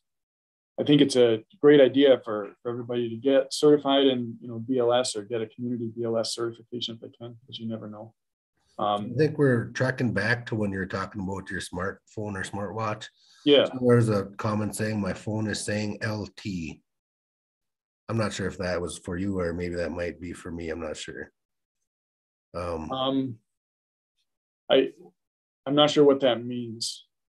no, I, I'm just reading some of the chats here. So I know there's one one that says, you know, you cannot help be liable for resuscitation efforts according to the Good Samaritan law. right. Right. Oh, okay. Okay. So is there any more questions for Dr. Dury? We'll give it a quick, quick another minute or so. Um, so that was a good presentation. I know you were pretty detailed and I got some good stuff out of there and uh, appreciate you taking your time and your willingness to do some community outreach and introduce yourself and get more familiar. You know, people see your face and like I said, I know I'll see you up here early and I know I'll see you heading out probably pretty much one of the last ones to leave. So some long days and I appreciate you being there. So any more questions for Dr. Dury? Well, once. Okay. So I know there was uh just someone thank you. Looking forward to reviewing on YouTube. I know there are some people that kind of came in the middle of some presentations, and this is uh, this will be on YouTube, so people are able to go back and review the whole thing on YouTube. So there's another one. It says months after having COVID, I find myself having having a I get a fast. a fast heartbeat. So can't you get a fast Yep. heartbeat every now and then? Is that normal? Um, well, with COVID, they're finding now there are increased cardiac um, symptoms and, and things that can come up in the in the year following COVID. And with long COVID, the, the jury's still out on what's going to go on with that. I would I would look at that as you would whether or not you had COVID. So if you're noticing this a lot, especially if you have any symptoms with it, uh, or if it's going for a prolonged period of time, might want to get it checked out because it's hard it's hard to say just with that little amount of information. But I would I would treat it not just oh I should expect that because I had COVID, but I would look at it as you would whether or not you had COVID. Okay. So there's your comment. It says uh MIS a a symptoms usually only manifest a few weeks after COVID. Was that uh, Paul? I think that was uh, Erica. So we'll uh I guess if there's no more questions, okay, here's one. How is thyroid effects on the heart? I had too much RX a while back. It caused heart. Yep, palpitations. Um, so yes, thyroid and heart are Uh, says uh, she had a uh, they had a EKG at the clinic, sent to the ER following strict stress tests, etc. I am okay, but it's great to do a double check because both of her parents had heart disease. Yeah, no, you're absolutely right on that. Um, if you're hyper, usually if it's your thyroid is over functioning or if you're on too high of a dose, uh, you can get a fast heart rate, you can get palpitations, you can you can feel your heart um, beating harder sometimes. Um, sometimes people on the other end of the spectrum, sometimes you'll see that they'll have a, a little bit of a slower heart rate. So thyroid does uh, play into that. I will say another thing since palpitations came up a couple of times. Usually, once you've noticed that everybody gets them, everybody gets early beats here and there, but usually we're occupied with something else and we don't notice it. Once you notice it, you will tend to be more in tune with it and you will probably notice it more. Okay. All right. Again, thank you, Dr. Dury, for taking some time out of your busy day to provide us with some of your knowledge. I truly appreciate that and look forward to doing some more events with you down the road.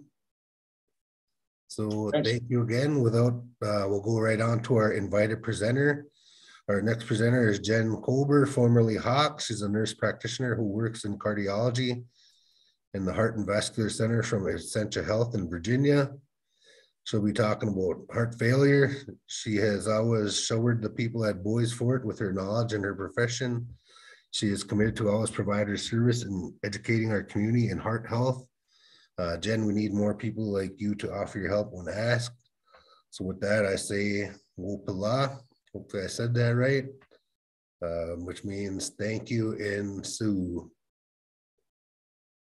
So Jen Colber, whenever you turn your camera on, your presentation is up. Okay. Well, good morning. Thanks for that nice introduction, Squidge.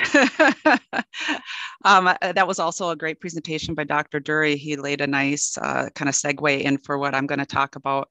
I am um, going to get right into the kind of pathologies or things that can go wrong with uh, your heart if you know if we don't take care of it. Um, I'm going to start. I'm going to share my screen here.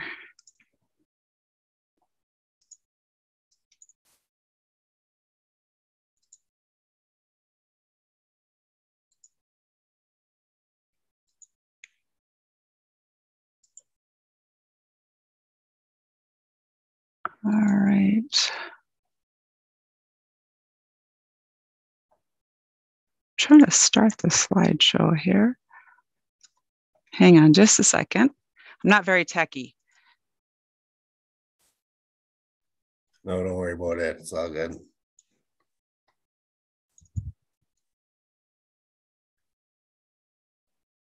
So like I said, you know, I apologize. You know, we did have some technical difficulties. That's why we had a late start. So now we're a little bit behind schedule, but for the most part, everybody was pretty good about uh, keeping their presentations within the time frame.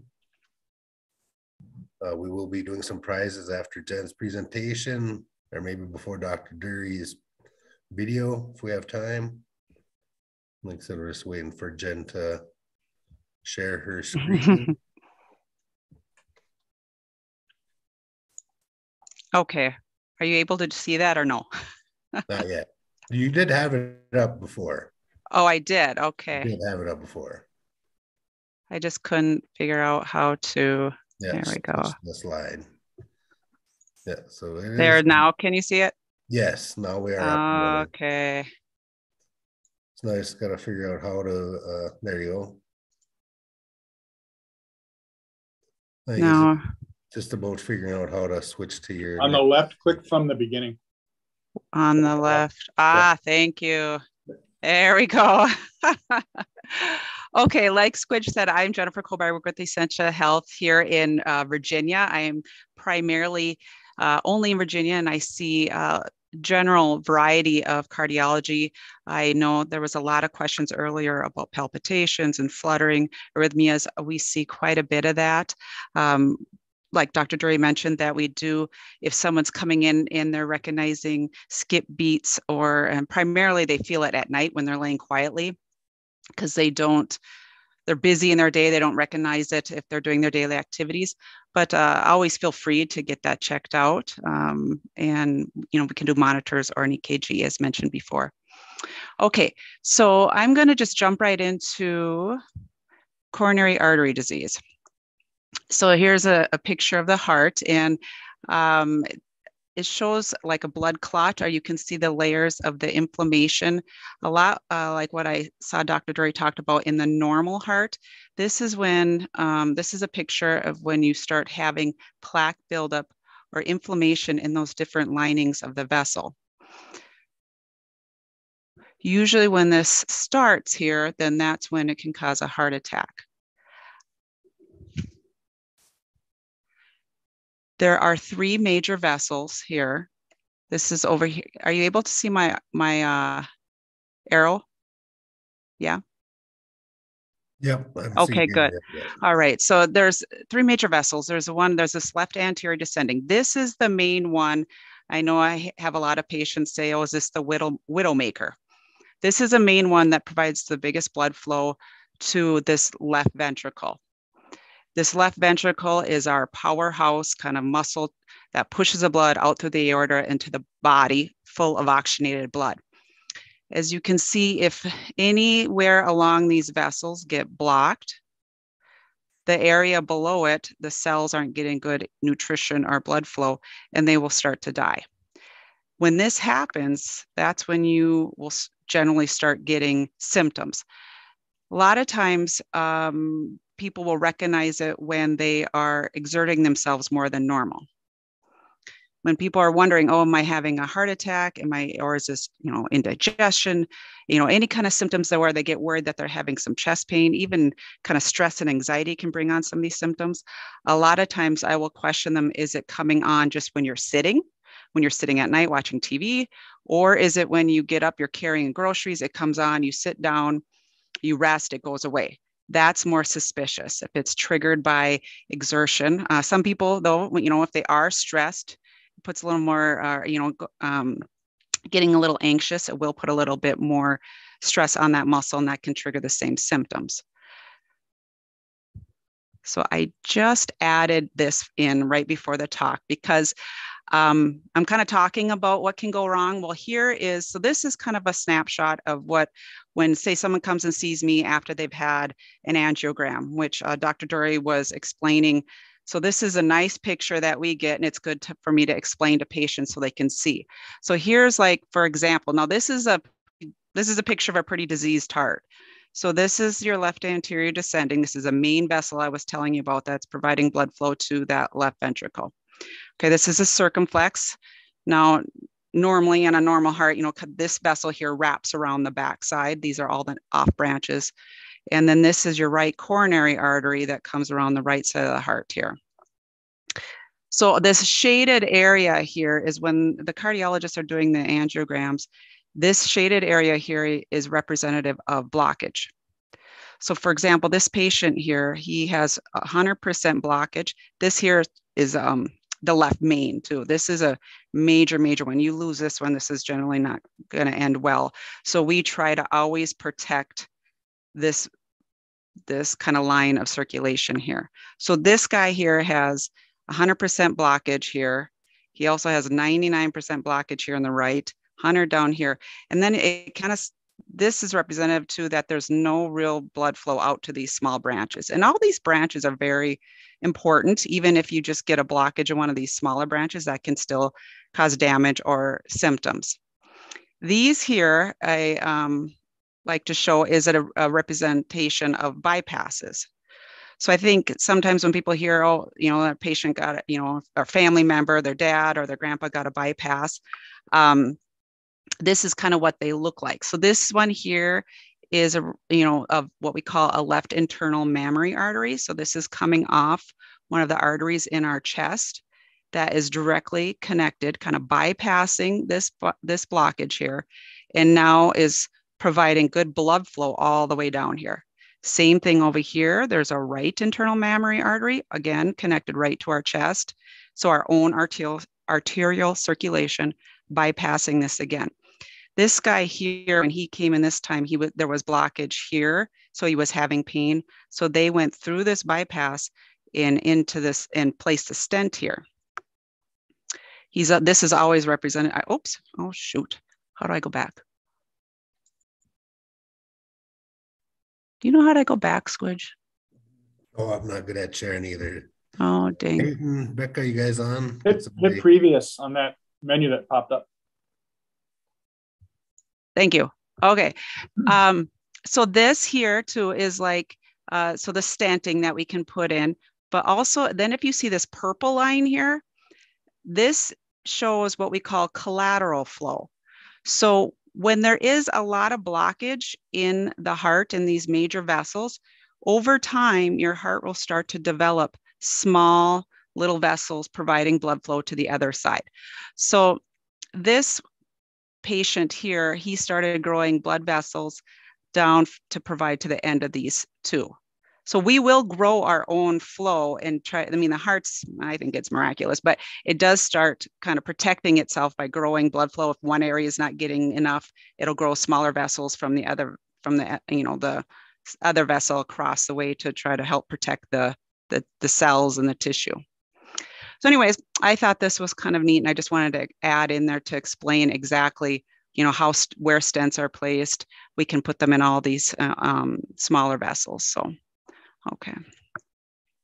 So symptoms, um, these are, you know, I know a lot of people have heard kind of the classic um, subter, you know, when they say substernal, that's like right in the middle of your chest. And that is the classic kind of uh, sign of chest pain, but doesn't always happen. You know, um, some men seem like they more commonly get that classic symptom of that chest pain or the pain down the arm into the jaw. Some symptoms are even just if your left hand or arm is numb and tingling. And even just like say again, you know, you're shoveling snow and just your your arm starts tingling or, or going a little uh, numb. That could just be a symptom of it too. And shortness of breath, of course, is very classic, and that generally comes on again with exertion. Women can be a little different in that, uh, you know, they may just feel like they're getting the flu or, uh, you know, not not feeling good, tired. Uh, um, I've also had some of my uh, older women who have, say, arthritis, and they they blame it on, oh, it's my arthritis acting up, and think that that's generally what's causing them to slow down a little bit more or people feel like oh i'm just getting older i just can't i get shorter breath quicker. But all those that you notice a change say in a short period of time um, you know say like if you can't do what you could do six months ago that's a fairly short span then that's generally like when we would like when we see our patients annually i always try to ask well have you noticed a change over the past few months versus well i you know it's the same as i've been the last you know a couple years. So that's how we kind of gauge uh, if there's been some progression or if you're having new set new symptoms. So risk factors i know we have gone over this um, uh, today a little bit but also every year with this uh, conference. Uh, smoking is a huge one. Um, i'm going to touch base on each of these a little bit but smoking of course being overweight diabetes uh, and that's a huge risk factor, a lot due to um, the general inflammation that it causes on our vasculature. Anytime there's inflammation, everything gets a little more sticky. Uh, poor diet, you know, sticking with more lean meats and high fiber is much better. And staying active, I can't say enough about make sure uh, you're staying active, increasing your heart rate. Um, that just really helps with uh, keeping off diabetes as well as heart disease. Cholesterol, we're going to talk a bit about this, and blood pressure control. So this is, I just added this and this is a cardiovascular risk assessment. Uh, you can look this up, Google it. I tried to figure out how to put it on here so we could do it together, but I, of course, couldn't figure it out how to put that on there. Um, but this is great. Now, this is to do if you have no prior or no known history. So if you're, you know, have never been told you have heart disease or don't know you have heart disease, and it's most accurate for those ages uh, 40 to 79 years of age, and that just gives you a general percentage of what your uh, risk is in a 10 year span to have a, a heart attack or an event. Um, you need to know usually your cholesterol numbers, uh, your age, and um, most recent blood pressure. But this is something that, like I said, if you look it up, anyone can do it, and it's it's one thing that we usually try to put in uh, when we see younger people or those who have no prior cardiovascular history. Prevention, um, again, this is you know what I just kind of touched on. The tobacco uh, elimination that, like I said, the chronic nicotine causes uh, inflammation as well, uh, cholesterol lowering, blood pressure. Here I talk about staying physically active at least more than 150 minutes a week of uh, moderate or greater than 75 minutes of vigorous activity. Aspirin, this has been a kind of hot topic this last year. Started getting a lot of questions and phone calls from patients about, well, should I be on aspirin? You know, when it came out in the news about it's not necessarily recommended just for anybody to take it. Uh, but of course, for my patient population, yes, I mean, if you have any risk factors, diabetes, cardiovascular disease, um, and even those, uh, you know, people who have a strong family history and smoke, I think it's still beneficial in that situation. Um, the type 2 by, uh, diabetes control with diet and exercise. Uh, the newest medications here with those SGLT2 inhibitors and the GLP1 um, antagonists, those are kind of our uh, newest medicines that we're even starting to use in cardiology. Uh, I'm going to talk about those a little bit later. And then, of course, metformin is the initial therapy. Again, smoking. Uh, can't say it enough about the importance of quitting smoking. If you have coronary disease and you're smoking, if we go in there and put a stent in, I know somebody asked, I, um, I think Pam asked about how long stents last. If you're a smoker, they don't last as long as if you quit. If you continue to smoke, we almost always see people back and need to uh, actually layer stents. We can put them inside of another one to try to keep that open. So it does, uh, smoke increases the formation of plaque in blood vessels. It can cause the blood to thicken, which then of course contributes to clotting inside the veins and the arteries. And nicotine itself increases blood pressure, heart rate, and then the narrowing. And um, I mean, this is this is a little older, but it may it may be. I'm sure it's about the same that it accounts for 33% of all deaths from cardiovascular disease. So here's the cholesterol numbers. Um, this one here, it talks about being good, less than 100. That, uh, that's generally like what we would push for uh, if you don't have any known risk factors.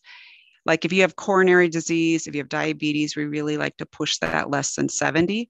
Um, and I'm primarily talking about LDL because this is a one that we treat you know the total a lot of people want to know their total but generally you know we're this is our number to treat anymore we used to really focus on increasing hdl which a, a high hdl is excellent and this is usually representative of someone who's a little bit more active or has like a eats a high um, fiber diet more of the mediterranean type diet um, but truly we we really focus on the ldl numbers triglycerides i see these fluctuate a lot with um, if someone's, you know, of course, their diet is heavy in more saturated fats.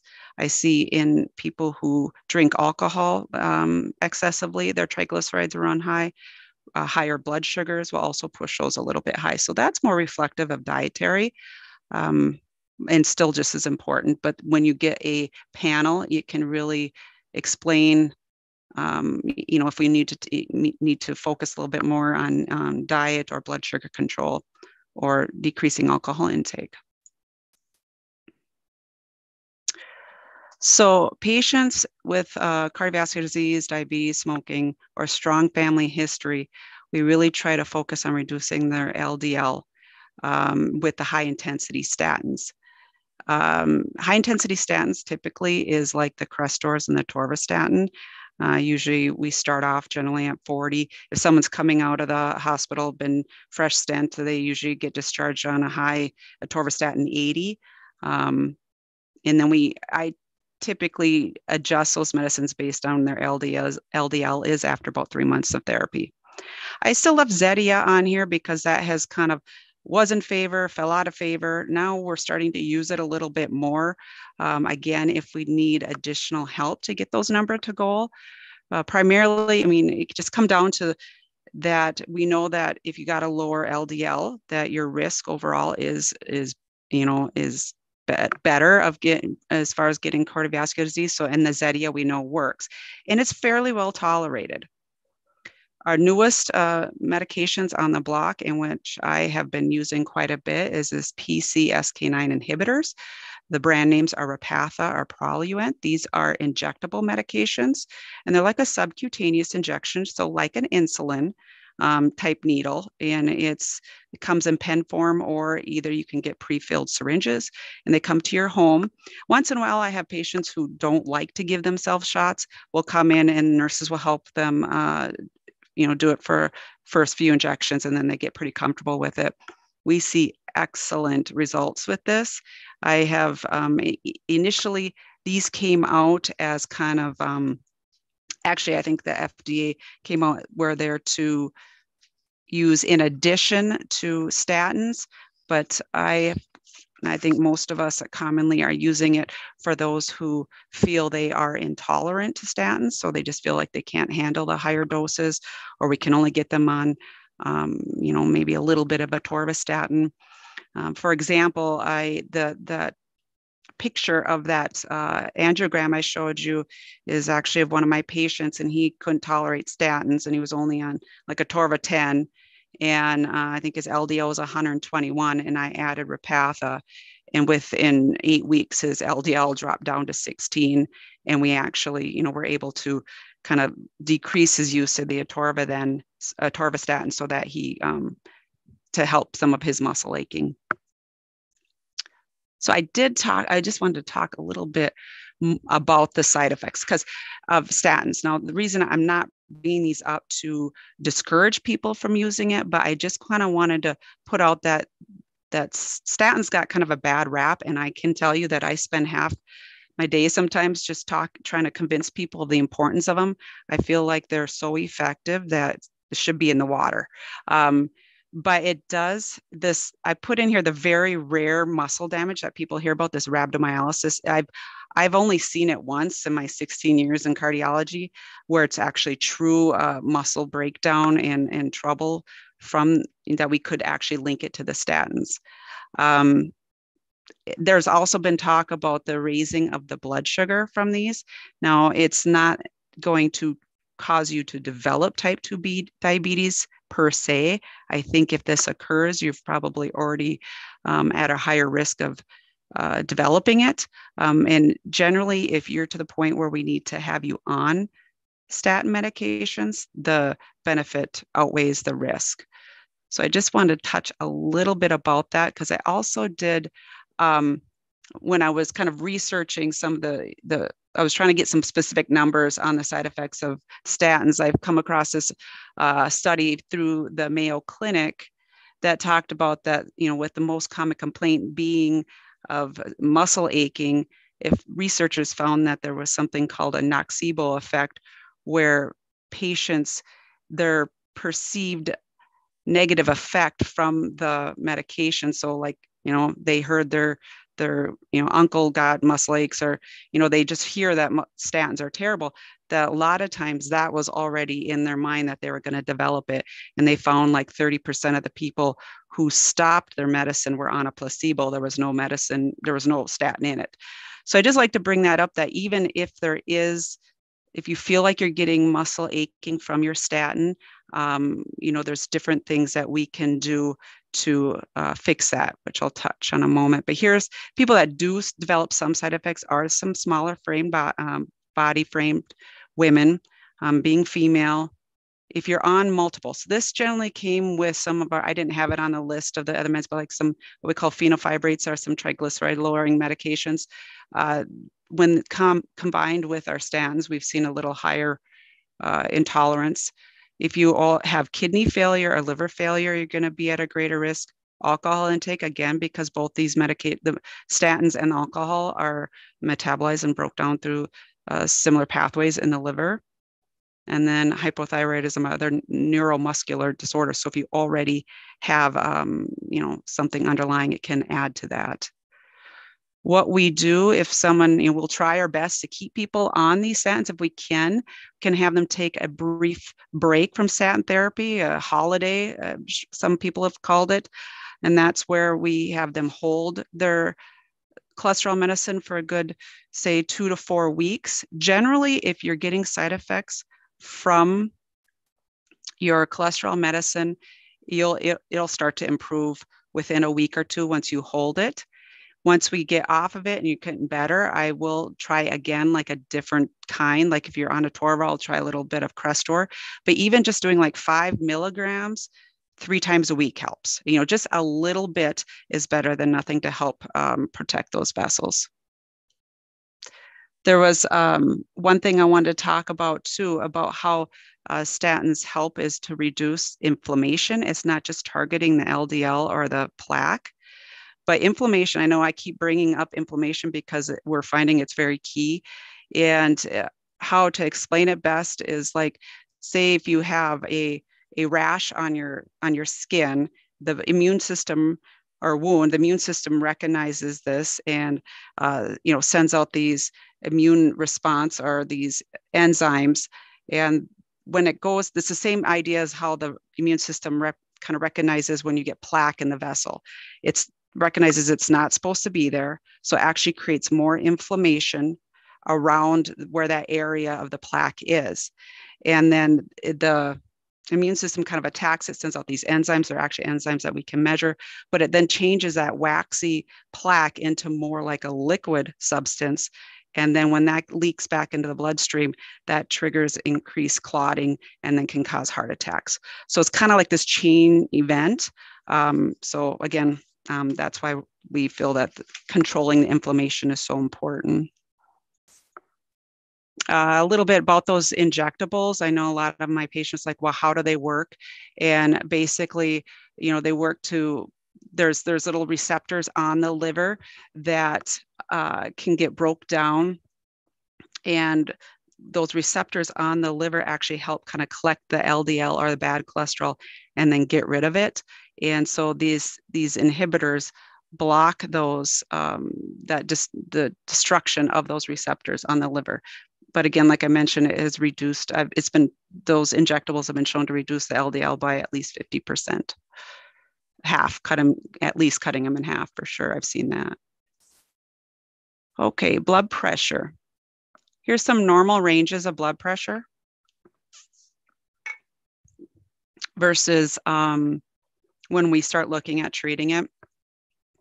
I know uh, here at Essentia, there's all kinds of, um, you know, goals or parameters we get to meet overall, and they're constantly monitoring if we're treating people's blood pressure appropriately.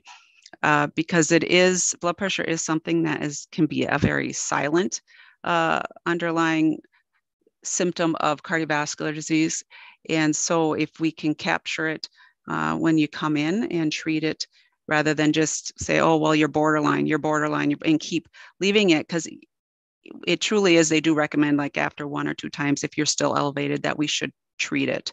And it really has been shown to help decrease um, cardiovascular disease, uh, organ damage. So goal is about the 120 or 120 over 70 or less is truly what we try to push people to.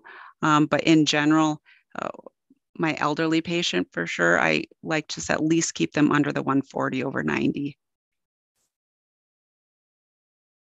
I just put a little plug in. This is um, about the diabetes and the importance of uh, controlling that with, um, you know, keeping your risk down for overall microvascular complications, the very small vessels in the eyes and the kidneys, and uh, peripheral, like in your hands and feet. I thought this was kind of funny because a lot family history is very strong, but also again we really encourage uh, you to stay active. Um, I, again, about the aspirin, kind of what I've already mentioned. If you have any questions, just ask your um, family provider.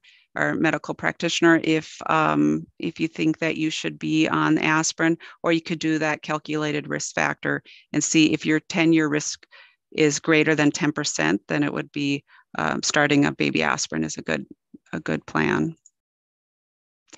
Okay, I'm going to jump into heart failure.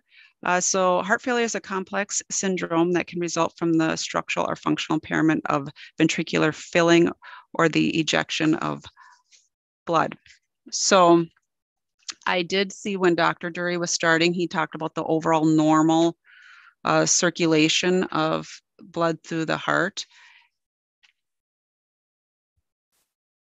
And again, when we talk about heart failure, we're primarily talking about this left ventricle here.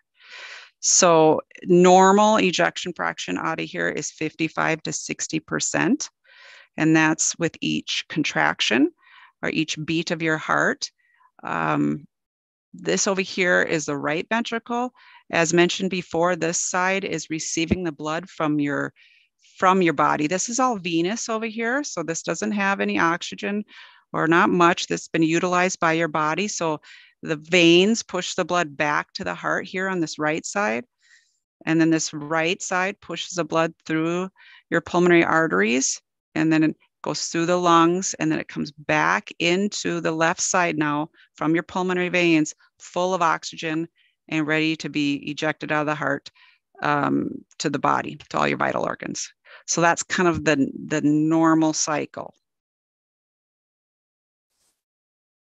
So there's two kinds of heart failure. There's a one uh, where the muscle is weak and the that left ventricle becomes kind of enlarged or dilated as we we call it and it's where it can't pump enough blood uh, when that ventricle contracts and the ejection fraction uh, usually when we start calling it systolic is anytime it's less than uh, 45 or 50%.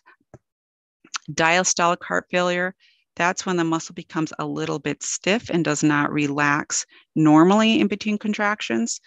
And so it doesn't fill adequately. Again, here, less than, already talked about that, less than 40%. Symptoms, um, when it's oh, it's abnormal days. Return. Oh yeah, that's the stuff that doctor. Uh, these are the testing that Dr. Dury already talked about. The echo. The echocardiogram is our gold standard for diagnosing those. I have um, where like if we've done cardiolite stress tests on people, again where were they're talking about that radio um, tracer uh, uptake of that tracer when you're doing stress testing that sometimes can give us very abnormal readings.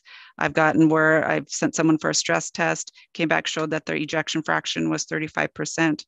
Um, and then we we did an echo just to verify that. And, and it was, you know, the echocardiogram, which is our gold standard and most accurate, was it showed that the heart function was normal.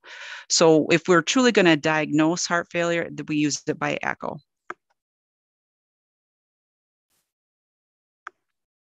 So this is what we call cardiomyopathy cardiomyopathies, that's basically, you know, where the heart muscle is not functioning normally.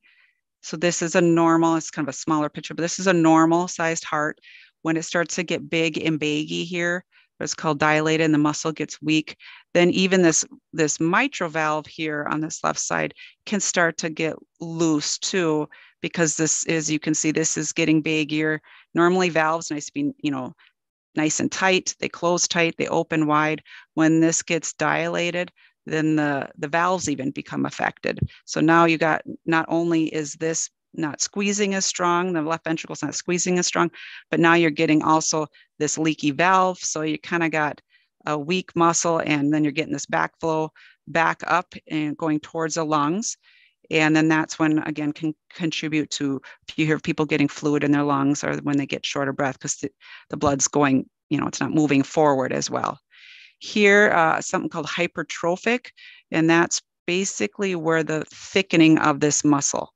You know, the ventricle is a muscle, and anytime it's got to work real hard, like against high blood pressure, you know, against these stiff vessels, um, or in uh, pulmonary disease, we see this a lot too, or sometimes people just have a genetic predisposition to it and get this thickening. So you can kind of see like normal, okay, this is a normal and then look at this where it gets thickened. This cavity here, or you know, the, the space to put the blood in is less. So it becomes a difference of like, okay, you're going to fill a balloon full of water and you can put blood in there and there's a little bit more give versus now we're going to fill a cup. And if you get excess volume in that, it's just going to spill over quickly. There's no, you know, there's not as much um, reserve, you know, when it's got this thickened muscle that just doesn't relax as well. This, I heard everyone kind of talking about this. I added this um, slide in just last week because this is something we are seeing a rise in is uh, heart failure from the, what we call toxic cardiomyopathies. This is from the methamphetamines. Uh, you know, meth is a stimulant and it causes uh, the vessels in our heart and our lungs to constrict and spasm. And that repeated kind of insult on um, the muscle and the cells, it can cause arrhythmia. So it can kind of create this rewiring of the heart's electrical system and causes an uneven heartbeat, which then, of course, can you know lead to a heart attack or a stroke. It also changes the structure of the heart muscle, making it less able to pump the blood. That's kind of where it's talking about the um, heart failure. And again, it causes chronic inflammation. Anytime you're putting a toxin in your body, like nicotine or, I mean, even chemotherapy, you know, it does cause a chronic uh, inflammatory response. Jen, sorry to cut you off. I know that mm-hmm. one person has their hand up. Oh, okay. I can't and, see that. No, that's right. Amber Zapata, if you just want to type in your your chat or your question.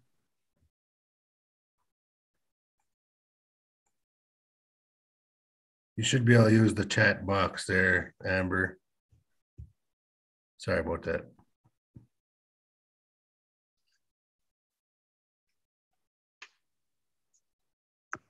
Oh, she said sorry. She didn't know her hand was raised. okay. Sorry uh, I I get it. um, then also alcohol. Uh, alcohol's a big one too uh, that we have been seeing, and uh, sometimes it's not overly obvious when it's alcohol induced. Uh, you know, sometimes when I'm following in them in the heart failure program, we, as we talk longer, we find that okay, they have been drinking. You know, what maybe they don't consider heavy drinking, but uh, I did write down here when I looked up the actual recommendations. Anytime you it occurs in the setting of heavy drinking, which for men is more than four drinks in a day or 14 in a week, or for women, three drinks in a day is seven in a week. And so that's like if it's you know continuous, if you're doing that, you know, week on, you know, for long term that can the the alcohol is also is very toxic to that muscle.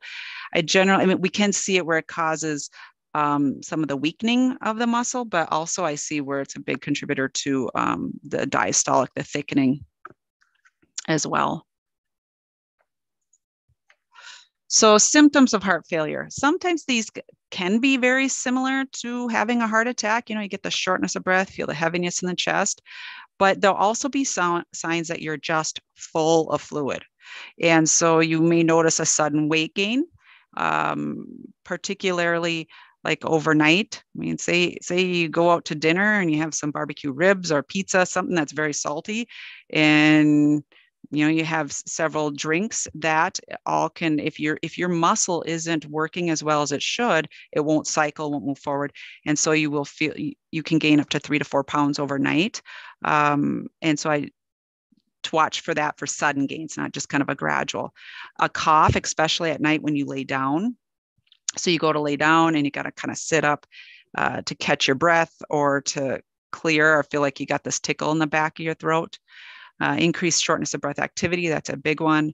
Abdominal bloating, so you just feel very bloated in the tummy, or you feel full after eating small amounts, may, like you may feel hungry. You go to start eating and you feel full right away, or even just drinking water. I have some of my patients when we're kind of triaging them over the phone, like, well, they'll say, oh, I just, even I drink water, I feel full. And they can eventually even start vomiting fluid if, if they just get so full of it. Uh, lower leg swelling, you will notice a decrease in urine output just because everything is congested and full. Even your kidneys can get congested and not which then affects their filtering uh, ability and making urine. And then you're just plain wore out and tired. So we do have a question in the chat. It says, does autoimmune disease contribute to heart disease or do damage to arteries and or valves? Yeah, you know, that was actually something I was going to add on. I thought about even putting it on a risk factor. Uh, we know that rheumatoid arthritis, lupus, uh, psoriasis, any autoimmune disease that is causing kind of your immune system to turn on itself or create uh, your a chronic state of inflammation can contribute to to the um, to vascular disease. So yes, I mean that's we've had where that's been like someone's only risk factor or only you know when they and they come in primarily. I see that a little more in, in women with the autoimmune causing it. So then some, this I kind of added in just to this is what we look for. If you go in and see your, um, your provider and you are, you know, looking at symptoms, or they're looking at symptoms and kind of figuring out what's wrong. And again, kind of a went through the, the belly bloating, shortness of breath. Um, I got right heart failure and left heart failure because they are two very different things. Um, progressive left heart failure can eventually cause right heart failure. But some people just have trouble with failure on the right side of the heart. Again, that's where I was talking about where it's more of your venous system, the, the veins. And so if it's occurring on the right side, it's going to back up. And that's when we see more of the leg swelling, the abdominal bloating, but then say your lungs are clear. So that's all right sided failure. If if it's more left side, if you can remember, the blood is coming from your pulmonary veins uh, or your lungs into the heart on that left side, and it can't keep up. The first place it's going to back up is to your lungs, and so you will be more congested, shorter breath. If you hear hear of the um, oh, you know, if you've had fluid on the lungs, some people call it, um, or I've heard some people describe it as fluid around the heart. But truly, what it is, it's where it starts to build up in uh, the thoracic, in your cavity, uh, your chest cavity between the lungs and your uh, your chest wall. So there's just some of the things that we look at um, on exam. We may look at your your. This is a, what we call JVD or jugular vein distension. This is actually our kind of number one thing I look for if somebody is really full of fluid, because this, again, this is your venous system. When you lie back, if that vein in your neck is more distended or sticking out, or sometimes I can see if people are just sitting upright in a chair, that's a sign that they got additional, that your vascular system is just full. You can get a third, uh, like a third heartbeat, and that's again because of just how the the heart is beating and it's full of fluid. Um, and lots of, uh, like again, gastrointestinal feeling bloated. Um, some lipid uh, laboratory data, again, this, these are things that mainly like we would check. I know someone mentioned thyroid hormone. Yes, I do see that the thyroid really, if that's off, especially with rhythm, it, it can be um, kind of a long process because we got to wait for that thyroid to get stable, like especially if it's in relation to atrial fibrillation. Um, it's kind of pointless to get aggressive and treat the atrial fibrillation if your thyroid is still off. So it does we do take a while, um, but as long as you're protected with a blood thinner and your heart rate's controlled, um, atrial fibrillation isn't going to harm you as long as it's well managed. And we keep a very close eye on the kidneys and um, electrolytes with heart failure because um, a lot of times people are on the diuretics, the water pills. I'm not going to talk too much about this because Dr. Already talked about the diagnostic tools. Again, main thing is like if you feel, if you think you're having any heart failure symptoms, we do an echo. If you think that you're having chest pain or coronary disease, we do stress testing.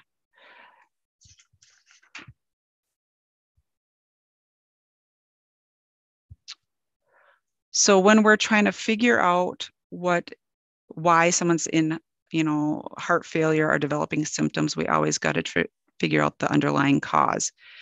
Um, so atrial fibrillation, again, to bring that up, uh, because it is pretty common, if someone's in it and it's a it's kind of an irregular chaotic rhythm it's where your own little pacemaker your own sa node isn't controlling or driving the ship anymore the atria is just on top just fibrillating and uh, beating really fast and if it sends signals down to the ventricle and it's following that muscle can get wore out like if it's just beating too fast almost always though once we correct that slow the heart rate down uh, allow that heart muscle to rest and recover almost always see uh, regain, you know, return to normal function. Uh, hypertension over time uh, can cause that thickening of that muscle. Again, uh, you know, just working really hard against these stiffened vessels can create that muscle get thicker. Ischemia, that's again more like, um, again, ischemia is like if you're having blockage, is what that means. Um, and it's causing ischemia is when you're actually having damage to uh, starting to be symptomatic and having damage to that heart muscle. I'm just going to touch a bit here on medications because I these are these medicines that we use to treat heart failure are also very common medications for blood pressure. So when we're talking, these are medications to treat low heart function. Okay, there's a, a little recipe the specific meds that we need to use anytime someone's heart function drops below 45%. These are the um, guideline medicines that we use, bisoprolol, metoprolol, or carvedilol. These are all beta blockers. And these protect the heart from those uh, uh, adrenaline type chemicals we put out, like in a fight and flight response. If you get really stressed or under a lot of grief and you're feeling, um, you know, really stressed for a long time, that those kind of chemicals we put out in our body can be hard on that heart muscle and actually can cause it to be weakened but also then it causes the heart rate to go up the blood pressure to go up and so the the beta blockers help kind of protect your heart muscle from the response of that ACE inhibitors are angiotensin receptor blockers, uh, lisinopril, enalapril, losartan, valsartan. Um, that whole line of medicines are very important in treating heart failure. Those help kind of dilate the vessels and uh, so that the heart doesn't have to squeeze the blood into like this constricted vascular bed. It also works um, on a hormonal level. A lot what goes on in the body in like this big snowball effect in heart failure is hormonal. Um, and so I just like to mention this because my heart failure patients, I'll put them on these medicines, but then as soon as like if they go in and their blood pressure is a little low, they think they can stop them because they think they're on the medicines for blood pressure. So I always tell people, no, these are this is your therapy, and we keep it on as long as in as high as dose as you can tolerate and as long as it's actually indefinite um, once you've been diagnosed with heart failure. Aldosterone antagonists. this is like your spironolactone or your eplerenone. This, uh, we add that one. If you were to look it up, just look up those medicines. They are under diuretics or water, you know, like diuretics or water pills. But these two medicines are very important in, in um, helping so that heart muscle doesn't change shape. It actually keeps your kidneys from retaining more sodium and water um, and helps with potassium maintenance too if you have to be like on a Lasix or one of the other diuretics. Uh, so those are um, those top three are the main ones that we try to get on board. Uh, we got some newer medicines that I'm just going to touch base on here in a second. If you have kidney disease and you cannot tolerate, I should say advanced kidney disease, so anytime your creatinine is greater than 2.0 or 2.5, um, we, we try to stay away from the ACE inhibitors, ARBs, or aldosterones antagonists, and then we can use more like a hydralazine or a long-acting uh, nitroglycerin, and those provide the same benefit. Here is a list of our most common diuretics we use, furosemide, normally called Lasix, or commonly, I should say, torsemide, Bumex, and I added this one here, metolazone. I call this my power pill. I will use this one in addition to their maintenance. I don't ever put anyone on this daily. Uh, it causes significant uh, excretion of their electrolytes and then causes, and we end up kind of trying to keep up with that. Um, but so I will add this on if our patients were monitoring on a scale or they're having a decompensated episode, the metol- metolazone really helps with giving them a boost. And I've seen people lose like eight pounds overnight uh, with eight to 10 pounds overnight with that metolazone. So they don't leave the bathroom much, but it works very well. Um, and then digoxin, which is an old med. We don't use it as much in heart failure. I primarily use this now in control of heart rate and atrial fibrillation, um, but this used to be kind of an older med we used. the newest medicines out there is called Entresto. You may have seen the commercial of they're singing the sun will come out tomorrow or it, it, this is one of the i shouldn't say well it is newer but it's been on the market now gosh i think for five six years at least and i would probably try to get everybody on this if i could it's just we have a lot of trouble with coverage of course uh, insurance coverage because it is a newer medicine and it is um, it's getting better with its coverage. But so we do use some compassionate care or, or, things like that if we need to get them on it. Generally, if we have someone on like the beta blockers, and then I try to have them on the lisinopril and say we got them on the highest dose of lisinopril, and we, we do another echo and their heart function hasn't gained any ground or um, they're having more symptoms, we will push to try to get them on this Entresto. This Entresto is actually a combination of valsartan, which is like what I just talked about, one of those ARBs, and then a newest one called a sacubitril, which actually helps increase um, uh, urination. And so a lot of times when we start this Entresto, we can actually back off on their uh, water pills too. And it's just been i i have one patient that we were needing to send her for routine uh, what we call um, paracentesis. She would build up so much fluid on her belly and we'd have to send her in about every two to three months to get that fluid pulled off. And i put her on entresto and since we put her on there we have not had to uh, send her in for that kind of procedure or remove fluid from her belly since. So she's uh she's very happy. So it's working great. Here's one of these newer medicines i was talking about earlier these sglt2 inhibitors.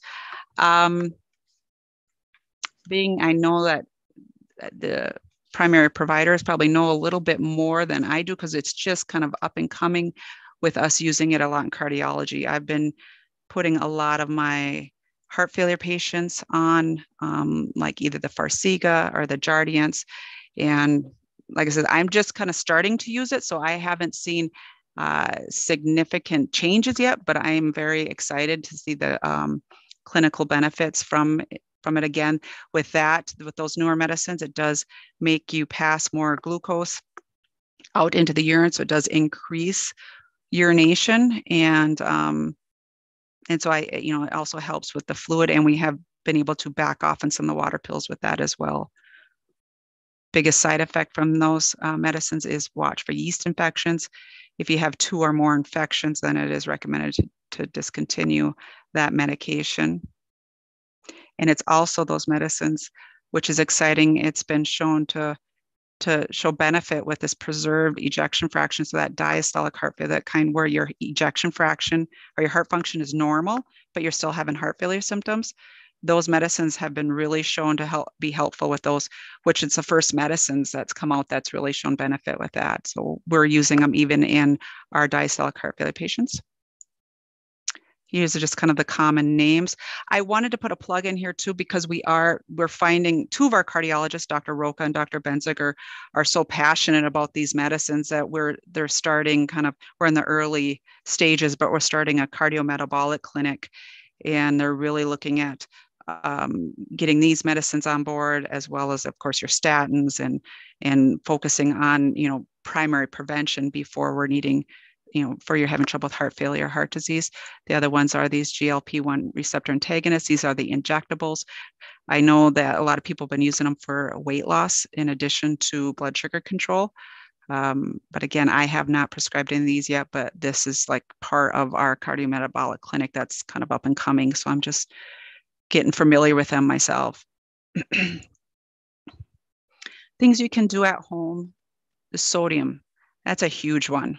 And I know if you ever go out and you look, pull up any nutrition facts, sodium isn't everything. It's even in your your um, soft water at home. It's in bread. But I tell people if you can just avoid convenience foods, things that come out of a box or a can, stay to your outside aisles of the grocery store, where your fresh and frozen foods are, but avoiding high sodium intake is huge. With blood pressure control, fluid control, um, people who eat high sodium meals at night often have trouble sleeping at night. It makes them restless, uh, adds to the swelling of the legs.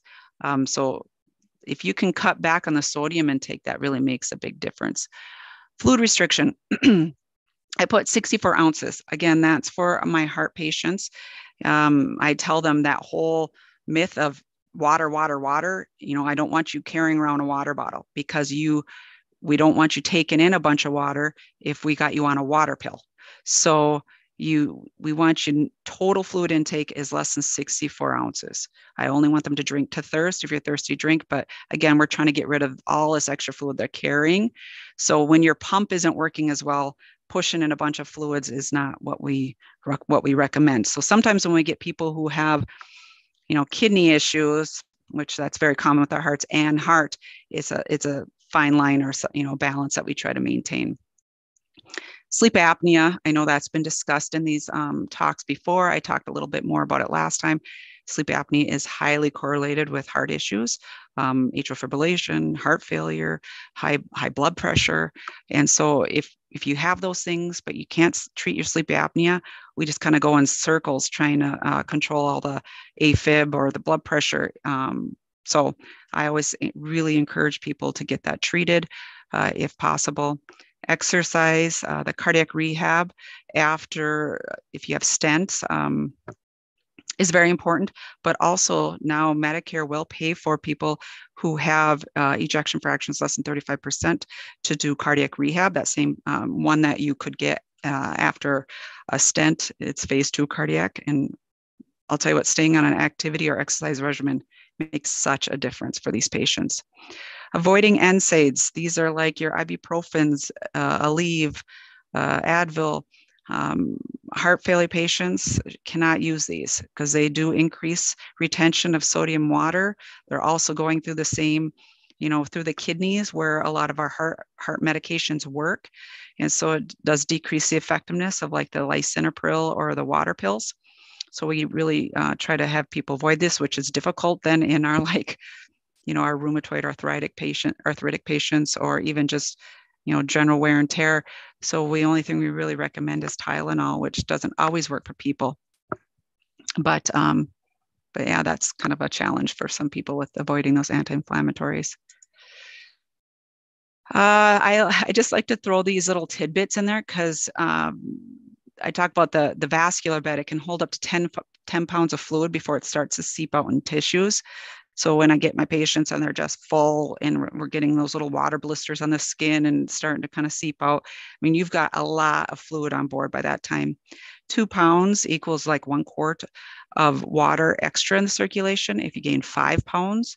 Um, so when we're giving people those parameters, that's equivalent to additional two liters of fluid, which that's a lot of extra on the on the heart and can definitely contribute to shortness of breath. I encourage people to use their calendars or little weight books um, to track the weights. If your weight goes up, you know, a lot of times they'll say, well, write down if you if you go out to eat, ate pizza, weight went up, you know, or you can even write if got a little symptomatic from that. Um, and so that kind of helps them gauge maybe what they're more salt sensitive to. Maybe they can have you know, spaghetti or, or pizza once in a while and doesn't bother them. But if they go out and they have barbecue ribs, it's a little, they know that that causes them more trouble.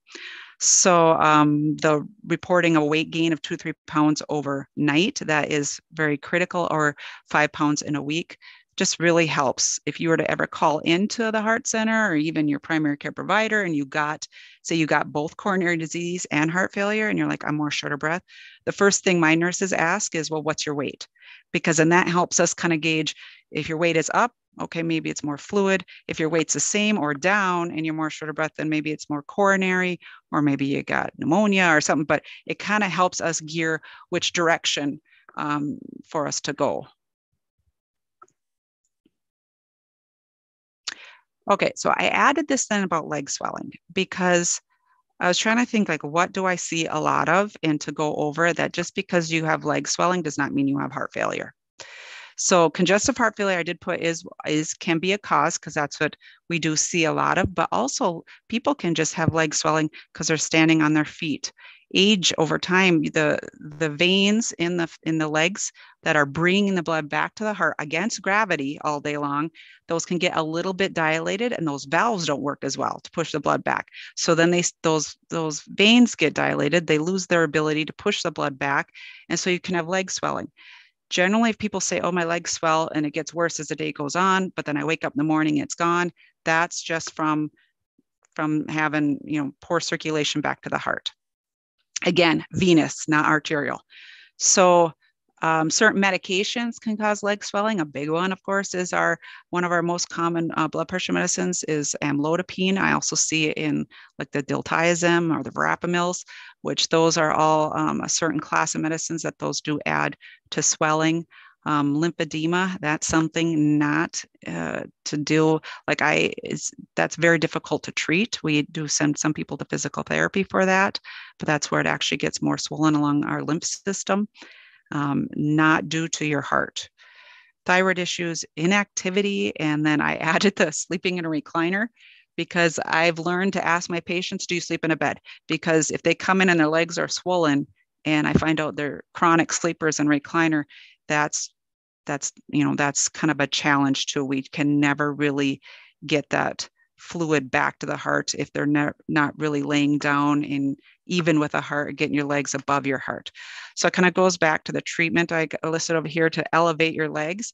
And um, even just sitting with them on a stool, that's not good enough. You truly need to help go against gravity. I tell people to lay on a sofa or get your legs up on a pillow or in a bed and or even just laying in a bed or getting them slightly elevated makes a huge difference just to you know kind of get it back uh, help the blood get back to the heart easier. Compression stockings, I don't know most people do not like those. Um, they're difficult to get on. But I tell people, some people who have trouble, I said, put them on before you even get out of bed in the morning. You know, have them by your bed. Your legs are the skinniest then, because some people, as soon as they put their feet down, they're having swelling. So get the compression stockings on on in the day, off at night.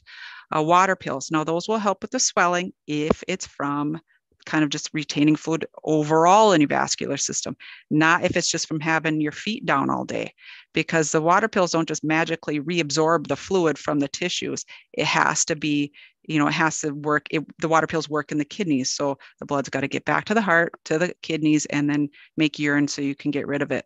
So I try to um, avoid using a ton of water pills for just people who have what we call venous venous insufficiency or just difficulty getting the fluid back because we end up drying people out. So we I really recommend more of the mechanical means. Um, you know, compression, elevation, and then if you need to help get a little water pill in there to really um, get more bang for your buck, I guess. Staying active, um, walking, our muscles naturally help squeeze those those vessels to help kind of circulate and bring that blood back up. So staying active and walking routinely um, and limit sodium intake. Medication changes too, I did mention. Um, again, that kind of goes back to like um, typically, like I said, with my heart patients, if I see that they're on amlodipine, I will try to either decrease the dose or change that up a little bit. Um, I added these things on the end. I've talked about them in the past because with heart failure, it can be progressive, um, obviously. And so once you start getting to where, okay, the medications aren't working anymore, um, or, you know, your, your heart function is less than 35% and you're starting to get symptomatic, or even if it's just at this point, it's just your heart functions at less than 35%, we can't get it up higher. We do recommend device therapy, such as implantable cardiac defibrillator. That's roughly the size of like a deck of cards. Uh, it's a little smaller and that's inserted in a pocket in your chest like a pacemaker.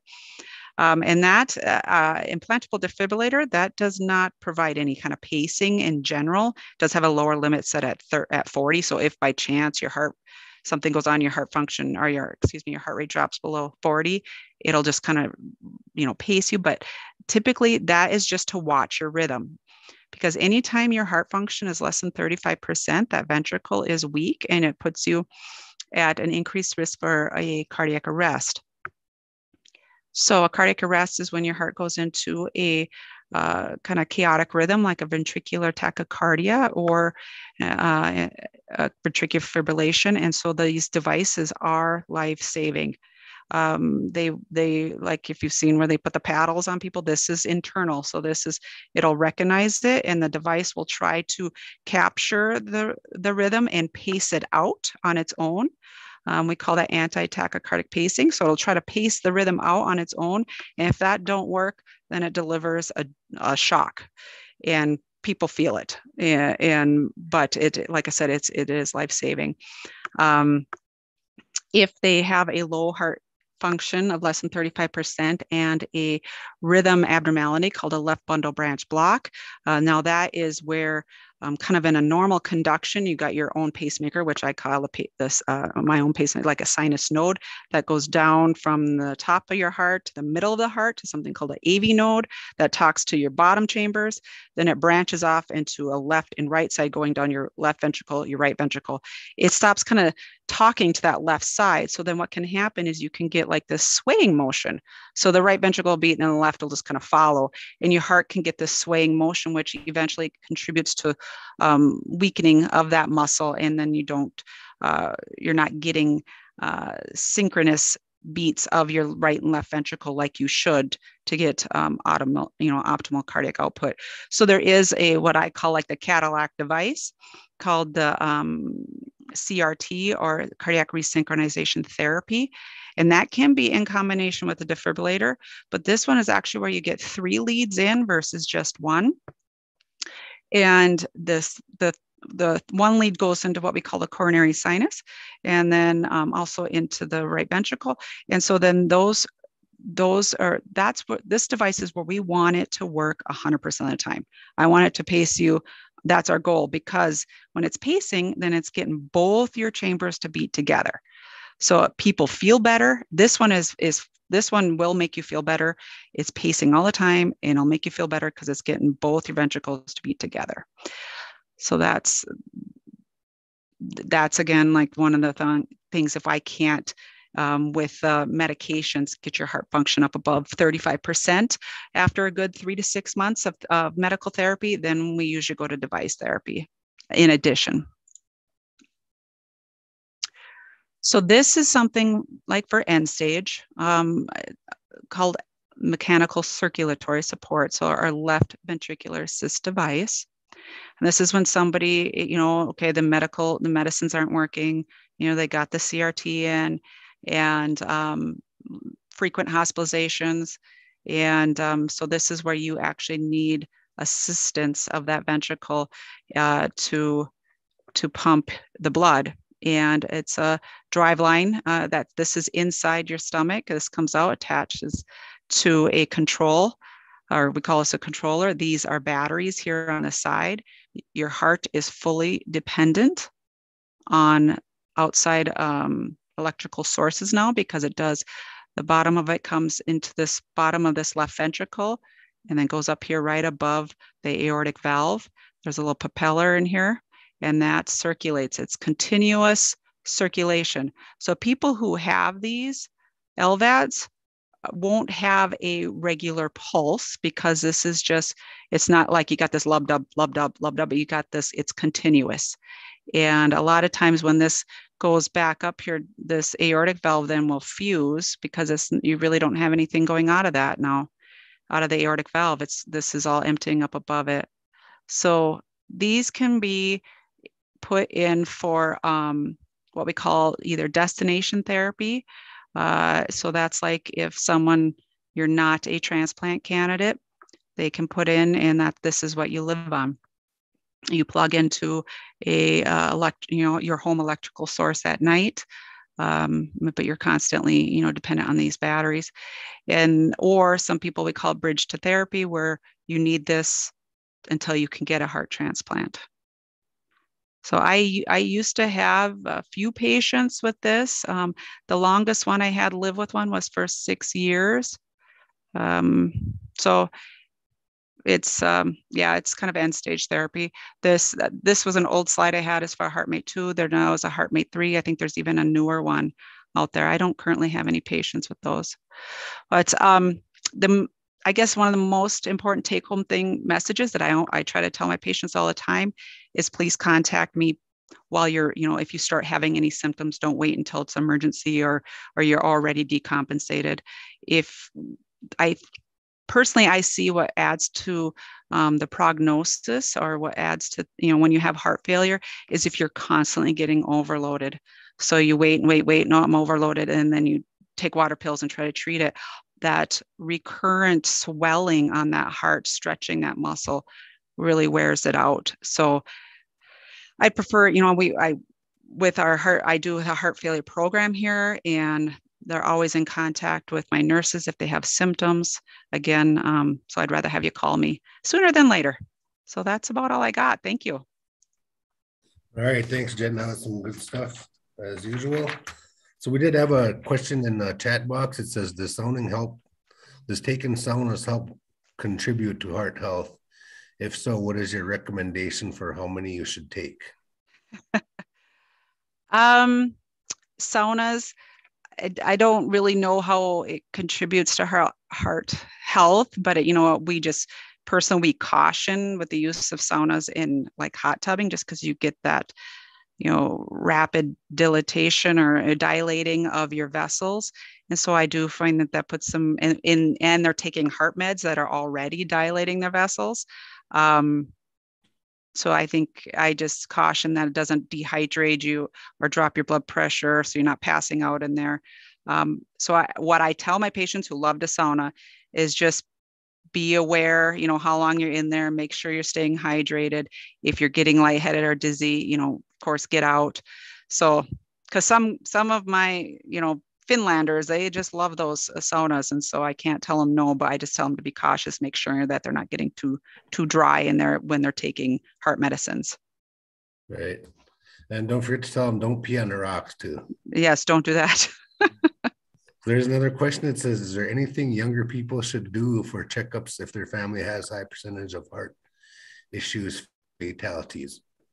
Yes, I think if you have a, um, I mean, we see some people, you know, where they come in, in, you know, like they've had early family member deaths or stenting or bypassing. And so we usually, I like to get a baseline EKG, um, the lipid panel, make sure the blood pressure is controlled. And we do know that if there is a high family risk of, and if your cholesterol, if the cholesterol looks great, you know, then we just encourage, of course, good dieting, exercising. Um, but we do use uh, preventative statin therapy, like with a, a 10 milligrams of Crestor or rosuvastatin to help, you know, just keep the vascular bed nice and stable and keep inflammation down and plaquing from developing so yeah i think just like a routine physical and getting all that done and kind of see where you're at and go from there so i know you did answer the question i had a question about the aspirin that, that it is beneficial because i did see mm-hmm. that they were saying that to, to stop taking it mm-hmm. and also the meds that you were talking about i know some of them have side effects mm-hmm. um, like the Entresto, you know, it says they say don't take it if you have uh, liver disease or diabetes. Mm-hmm. Mm-hmm. And that some of the side effects that it has is lightheaded or uh, tiredness and kidney problems. Mm-hmm. I was also thinking about like the IB, the ibuprofen, like the Motrin. Mm-hmm. the older players, you know, back in like your dad's age, my dad's age, and even me, you know, back back if you if you're kind of got hurt or whatever, you used IB just for uh to help with pain or whatever. I was just wondering if that might have contributed to some of my health issues that I have. Well, I know it adds to um, like acute, you know, kidney injury. It, you know, so I don't know long-term use. It's more focused on the um, kidneys with those anti-inflammatories more so than heart. But if the kidneys start giving you trouble, then of course, and that can eventually cause you trouble with uh, fluid retention and, you know, general inflammation too. So there's another question says, is CFH hereditary? Um, some of it some some forms of it yes. There is this one we call hypertrophic cardiomyopathy. That's kind of very specialized heart failure. That is highly um, hereditary. And we do recommend uh, echo screenings uh, for family members in that yes. So that kind is otherwise if it's linked to where like it's coronary coronary disease or heart disease is the most common cause of heart failure so it depends on what, you know, kind of what the cause is. So if you can narrow it down to that, then, then yeah, then that's how we treat it. Yeah, I think I'm starting to hear hear more a couple of people too had addressed the issue that they are starting to have like some heart issues with uh after having COVID. Mm-hmm. Yep. We are we, have seen we've seen quite a few of those people just worried you know and so we will do like if i have some heart failure patients and they had a long hospitalization or they're really struggling because it's hard for them to tell is it my heart or it, is it still covid? Because the symptoms you know you're short of breath you're fatigued um, and so we are you know we are keeping an eye and working up people uh, repeating echoes or giving it a little time you know after their infection to see, you know, if the, how, you know, which, if it's the heart or COVID. Right. So anyone else have any more questions for Jen? Said, you know, I know both her and Dr. Dury presentations were very detailed and there was a lot of great information on there. And, you know, it, it is hard for people being in person and Zoom, obviously, you know, mm-hmm. for people to ask questions. So anyone else have any more questions? We do. Uh, can DM DM cause CHF? I, I yeah, I mean again, you know, primarily I link it to the diabetes contributing to the coronary disease that causes the heart failure. But just having diabetes and not coronary disease not so much. I mean, it's just that it's kind of that cause and effect going down the line with the coronary disease is typically where I see those overlap. So what about like um I know we have people that have knowledge about using uh like uh herbal medicines or traditional medicines for uh, for heart issues, but I was wondering, is there, do you know of any, any other traditional medicines or remedies that, that might be beneficial? I do not. Uh, um, I, I get a lot of questions about that, and I often I we have a cardiac pharmacist that I bounce a lot of that off of because I'm not up to date on other you know other things that are in right. some of these um, alternative therapies. So I'm I don't wish I did. Wish I knew of a, what about a good you? one. So what if there is a person that does uh, they are able to get like um, traditional medicines?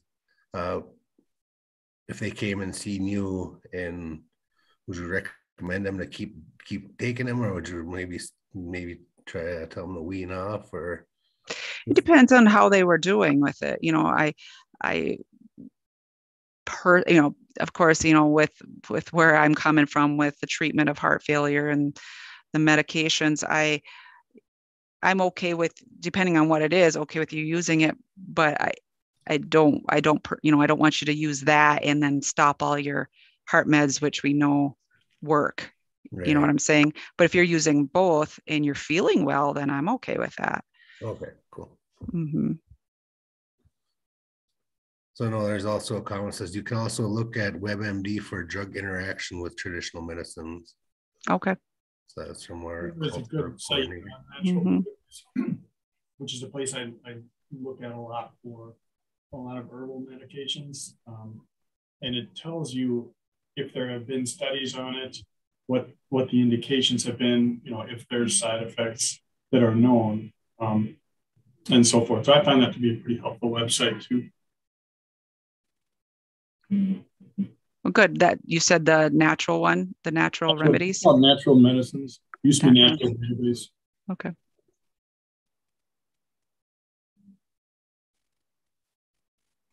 Anyone else out there that has any questions for any of the panelists? panelists are still on, I believe. I know Dr. Dury is on. I know Peyton's on. Jen is on, and I know we forgot to ask people any questions for us. So we'll just wait a couple couple more seconds here, see if anyone else has any questions that they want to type up on the chat. Because I know it was uh, time went by quick, and I really wish we did have more time because there was a lot of good stuff on here. And uh, Dr. Dury, for the ones that still want to stay on, I think we still have, have probably about a half hour left. If you wanted to show your video, I'll see here. Anyone else have any more questions or comments for Jennifer or any of the panelists? Okay, here's one. It says, is partial, is partial blockage to the artery ever referred to as sick flow? um, I haven't heard of it, but maybe I don't know if you know of that, Dr. Dury, but I haven't. I've never heard the term, but yeah, refers it that way. I don't know. Yeah.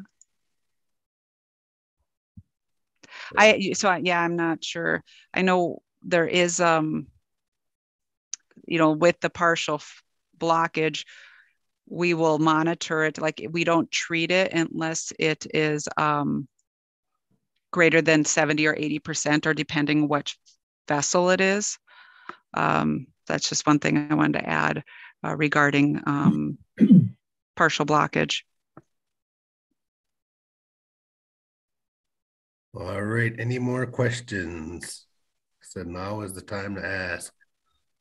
Like I said, you know, I know uh, people get referred to Jen, and she is very good and very knowledgeable resource to utilize and uh, go see her. So if you're able to go see her, go see her. Uh, she will do her best, as always, to get you back up and running. Um, any more questions? And um, nothing's really popping up here. So I guess with that, I'd like to say thank you, Jen, for thank you providing your resource and your knowledge. It's always great to have you because you always uh, offer so much knowledge that people could take in and whatnot. Yeah, I and I encourage anyone to call. Um, you know our office if you have questions uh, or want to be seen for our, you know we like i said we're starting that cardiometabolic clinic so i'm anxious to see what what goes on there but um, like i said that's in the initial stages. But always give a call if you have questions or um, or, or you know need want to be seen if you're having palpitations. We do you don't need necessarily referral but um, that is helpful Right. That's, what, that's what my question was going to be. Yeah. Somebody from our community, would they have to get a referral? Mm-mm. No. No. Okay. Nope. So I yeah, uh, one time I saw someone. He it said in the reason for visit was referred by neighbor. So I saw his neighbor, and he his neighbor said go see Jen. So I, yeah, so yeah, I know you can just you can just call our office here. So, but I appreciate uh, having me again, Squidge. I always enjoy it. Thank you. I appreciate you as usual. Okay. Okay. All right. Take care. And yep, we'll see you. Okay. Bye-bye. And if there's anyone that wants to stick around to watch Dr. Dury's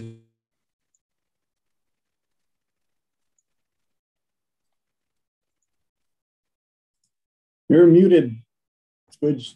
Okay, here we go. So we will be uh, sending out an email for who all won the prizes. I know people are probably anxious to hear about that and who won. But uh, whenever you're ready, Dr. Dury, you could start your video. All right. Why is it? Let's see. Uh, let's see here. well, take a little longer if this happens. Let's see here. Let's get that.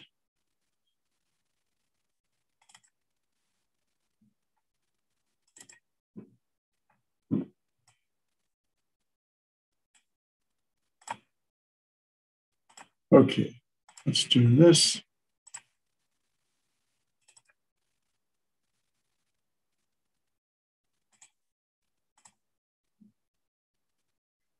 Oh, it's okay. Sorry, I, I had it going before, and now we're struggling, but I think I'm good. There we go. And okay, you got that? Yeah, we're good to go. All right, there oh, we go. It's 16 minutes. There's some parts where you're just kind of sitting there watching them fuss around a little bit, but it's only 16 minutes long. Okay.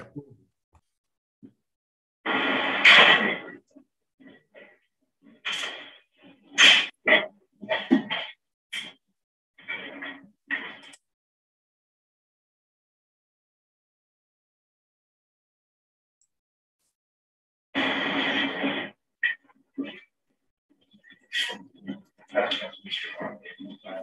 you.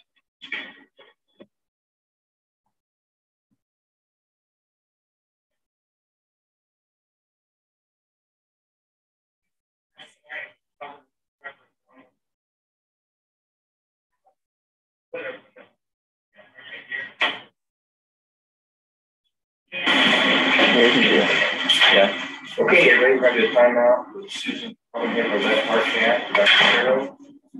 No allergies. Information on the whiteboard. Yeah. Thanks. Okay, Susan, we're gonna get started. So the first thing is a little bit of numbing medicine, okay? A little, little lidocaine, stick and a burn.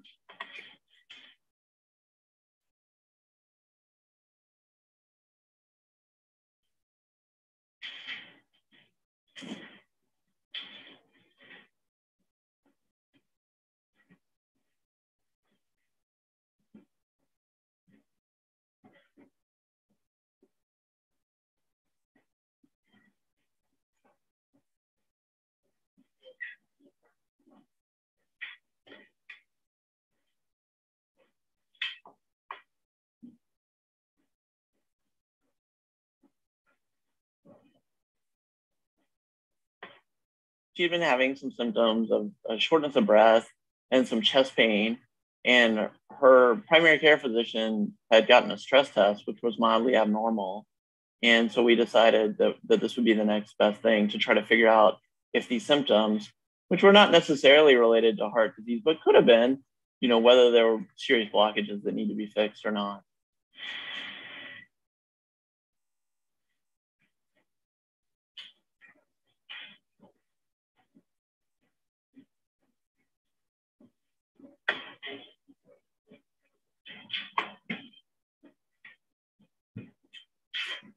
Okay, now we're gonna put our small sheath in place. That's how we do it. the procedure. It's like a small straw. You might feel a little bit of pressure in your wrist.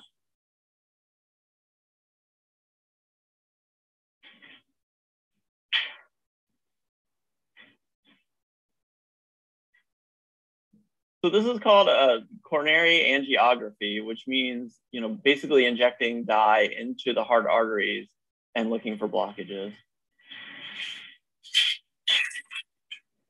Next, I'm going to inject a little bit of medication. That's to keep the artery from clamping down.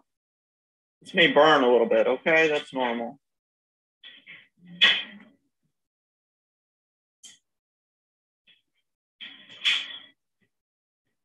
So this is the, the catheter that we'll use to inject uh, contrast into the, into the arteries and look for blockages. We're just using a, a small wire to get that up and up to the heart. Okay,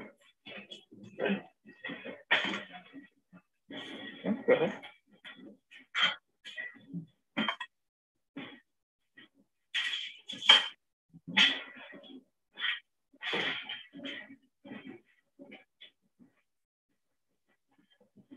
And give that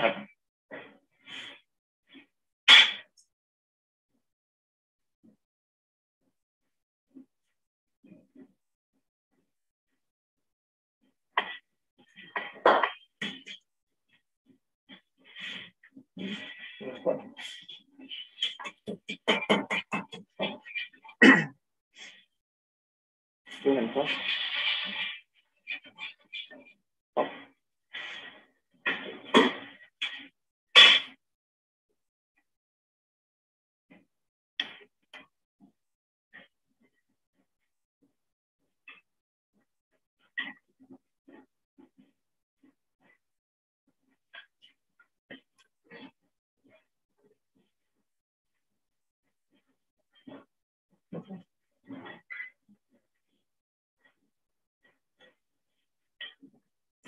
that wire is just on the outside. You know, everything we do carries some slight risk, but bad things are very uncommon in this procedure. You know, we do a lot of them and, and take care of people and make them feel a lot better through this.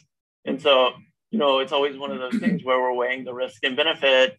And if we've decided to do it, we think the benefit outweighs the risk, and, and we're really trying to help help you. So they've threaded the wire just to the outside of the aortic valve, which is where those little openings to feed the coronary arteries are. So the aortic valve is right up here.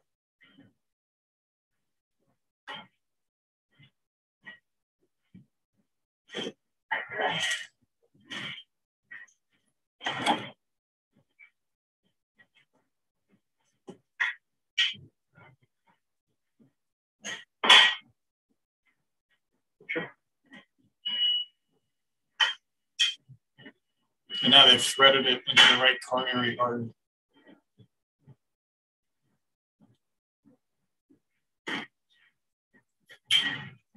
So right now we're just uh, we're taking pictures to look at the heart arteries. Um, we're gonna give a little bit of medication just to make sure that the sometimes the artery can spasm when we put our catheters in. So we want to make sure that that's case.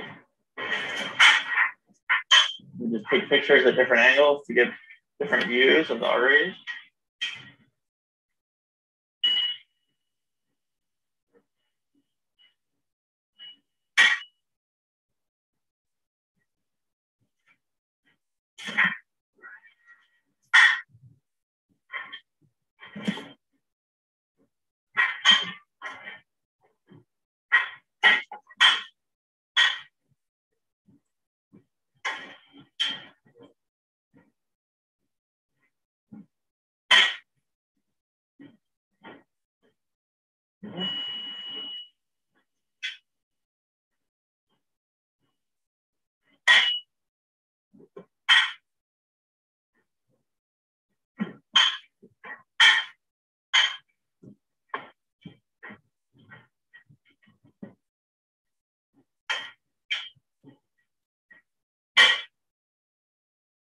So was the artery to the right side of the heart.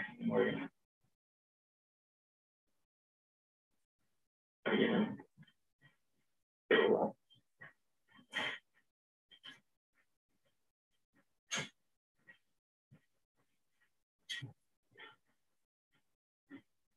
Susan, can you take another big breath in for me?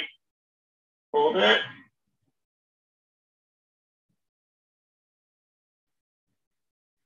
Breathe when you need to.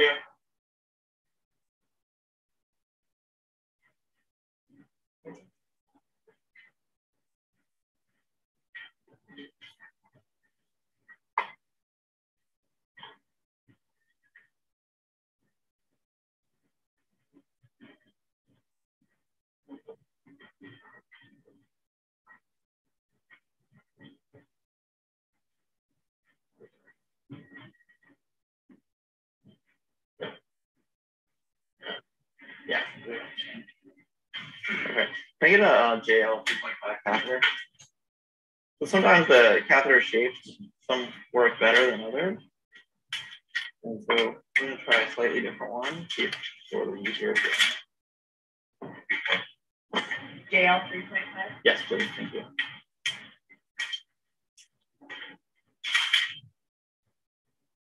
Okay.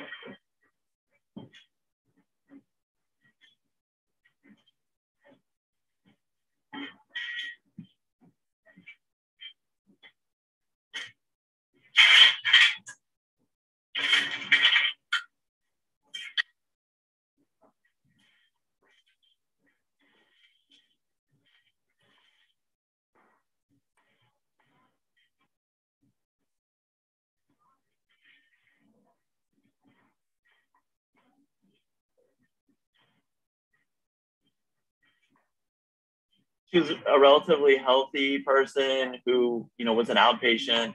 I thought that, you know, it was likely that we'd be successful at being able to accomplish the procedure through the, the through the arm. And you know, the benefit really is that for one, the biggest benefit is that it's a lower bleeding risk than going through the leg. So, you know, obviously we, we want to try to prevent any complications of the procedure. So that's number one. Sometimes people feel like it's a little slightly more comfortable because they don't have to lay flat for several hours after the procedure. Um, whereas if we go through the leg, they have to.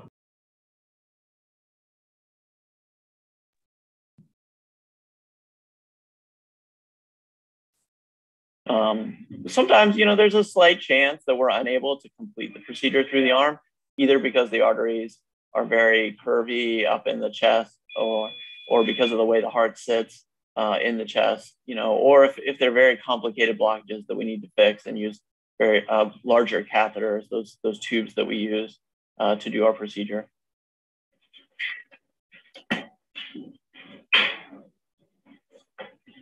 Then take a big breath in for me.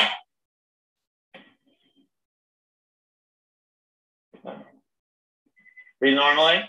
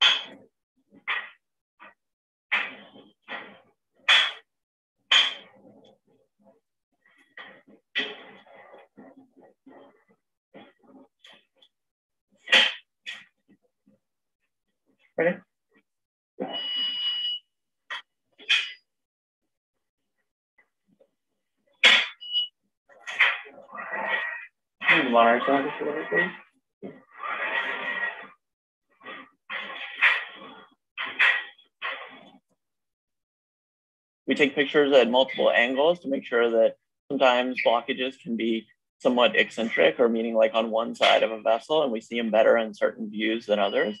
So, so we just kind of move our x-ray machine around and take, uh, take pictures at different angles and look for blockages.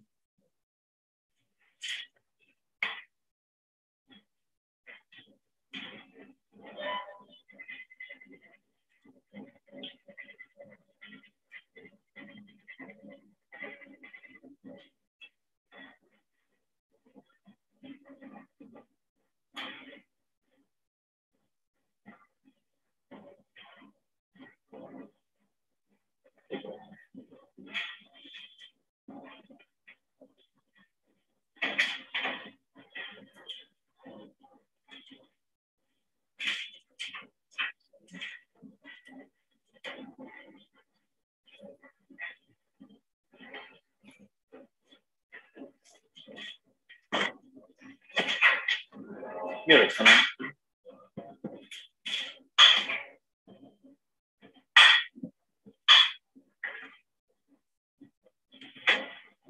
Susan, yeah, we have good news for you. We're all done, okay?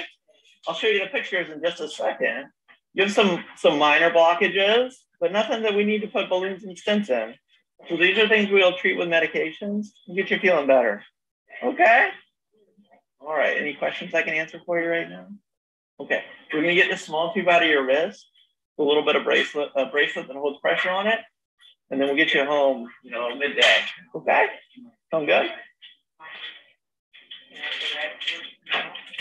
Yeah, that would be fine. As long as you're not doing heavy lifting with that arm, that'll be fine. So if you want to look this way, I'll show you the picture. So this is the artery to the right of the heart.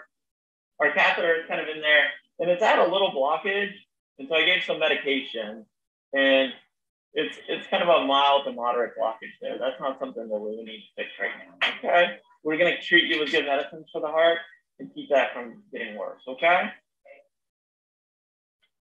This is a little bit different view, but the same same artery. Okay.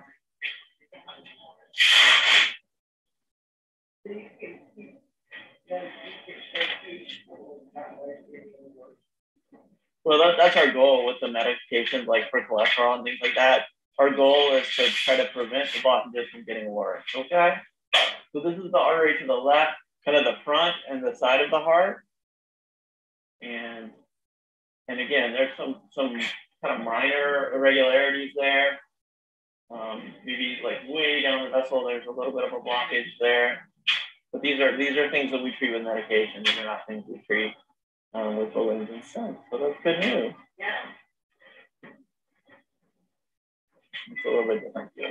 Okay. Any questions for me? Okay. Obviously, you know, if things change, we're happy to bring you back, but there's nothing that we need to do right now. Okay. It's good news. So we're gonna get this tube out and then we'll be all done. Get you off this hard drive. Okay. All right. You're welcome. That's pretty much it.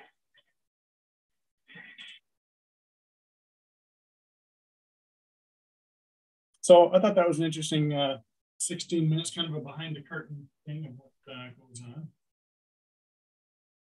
Yeah, it was. So what is the um I know you probably don't do those, but is there I know there's always that chance of not going through a procedure like that, pulling through a procedure like that. The odds probably pretty low, I'm assuming, right? Yeah, I mean that they do so many of these and you rarely uh, have complications from them. I can't speak to specific numbers. Right. But um yeah, and you've got the cardiologist right there so they can respond right away if there's issues. But yeah, it's very low risk nowadays. They're doing these all the time. So uh, that lady was she awake for that procedure? Yep, she was awake the whole time. Um, she could doze off, but I, it didn't sound like they had to wake her up to talk to her. So she was probably just watching. So where is the probably the closest place where they do a procedure like that? Duluth. Duluth, huh? Okay. Yep. yep. And it's pretty routine now. Yeah, yeah. I know uh even like I think for like knee surgeries and hip replacements. Um. oh, geez.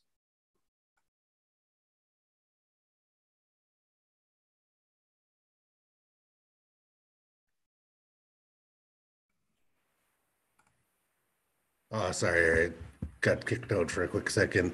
But yeah, I mean, even like uh the hip surgery I did, you know, I was uh in and out, uh released the next day. And I think when knee knee surgeries, they're sending people home the same day. So it's Mhm. pretty crazy how far along they've come nowadays.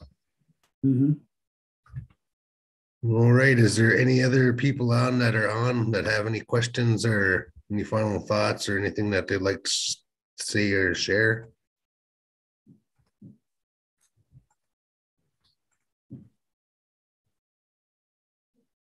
Okay, if not, I'll just thank everybody for showing up. Hopefully, I I know you guys got some good information.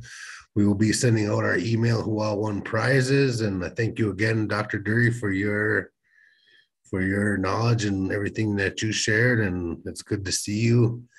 And uh, like I said, I know I look forward to doing some more with these with you and some collaboration work down the road. So thank you again, Dr. Dury. Thanks everybody for coming. Everybody's saying thanks, great conference. Thank you, good conference, good job. Yes, all right. Thank you. All right, thanks. Yep.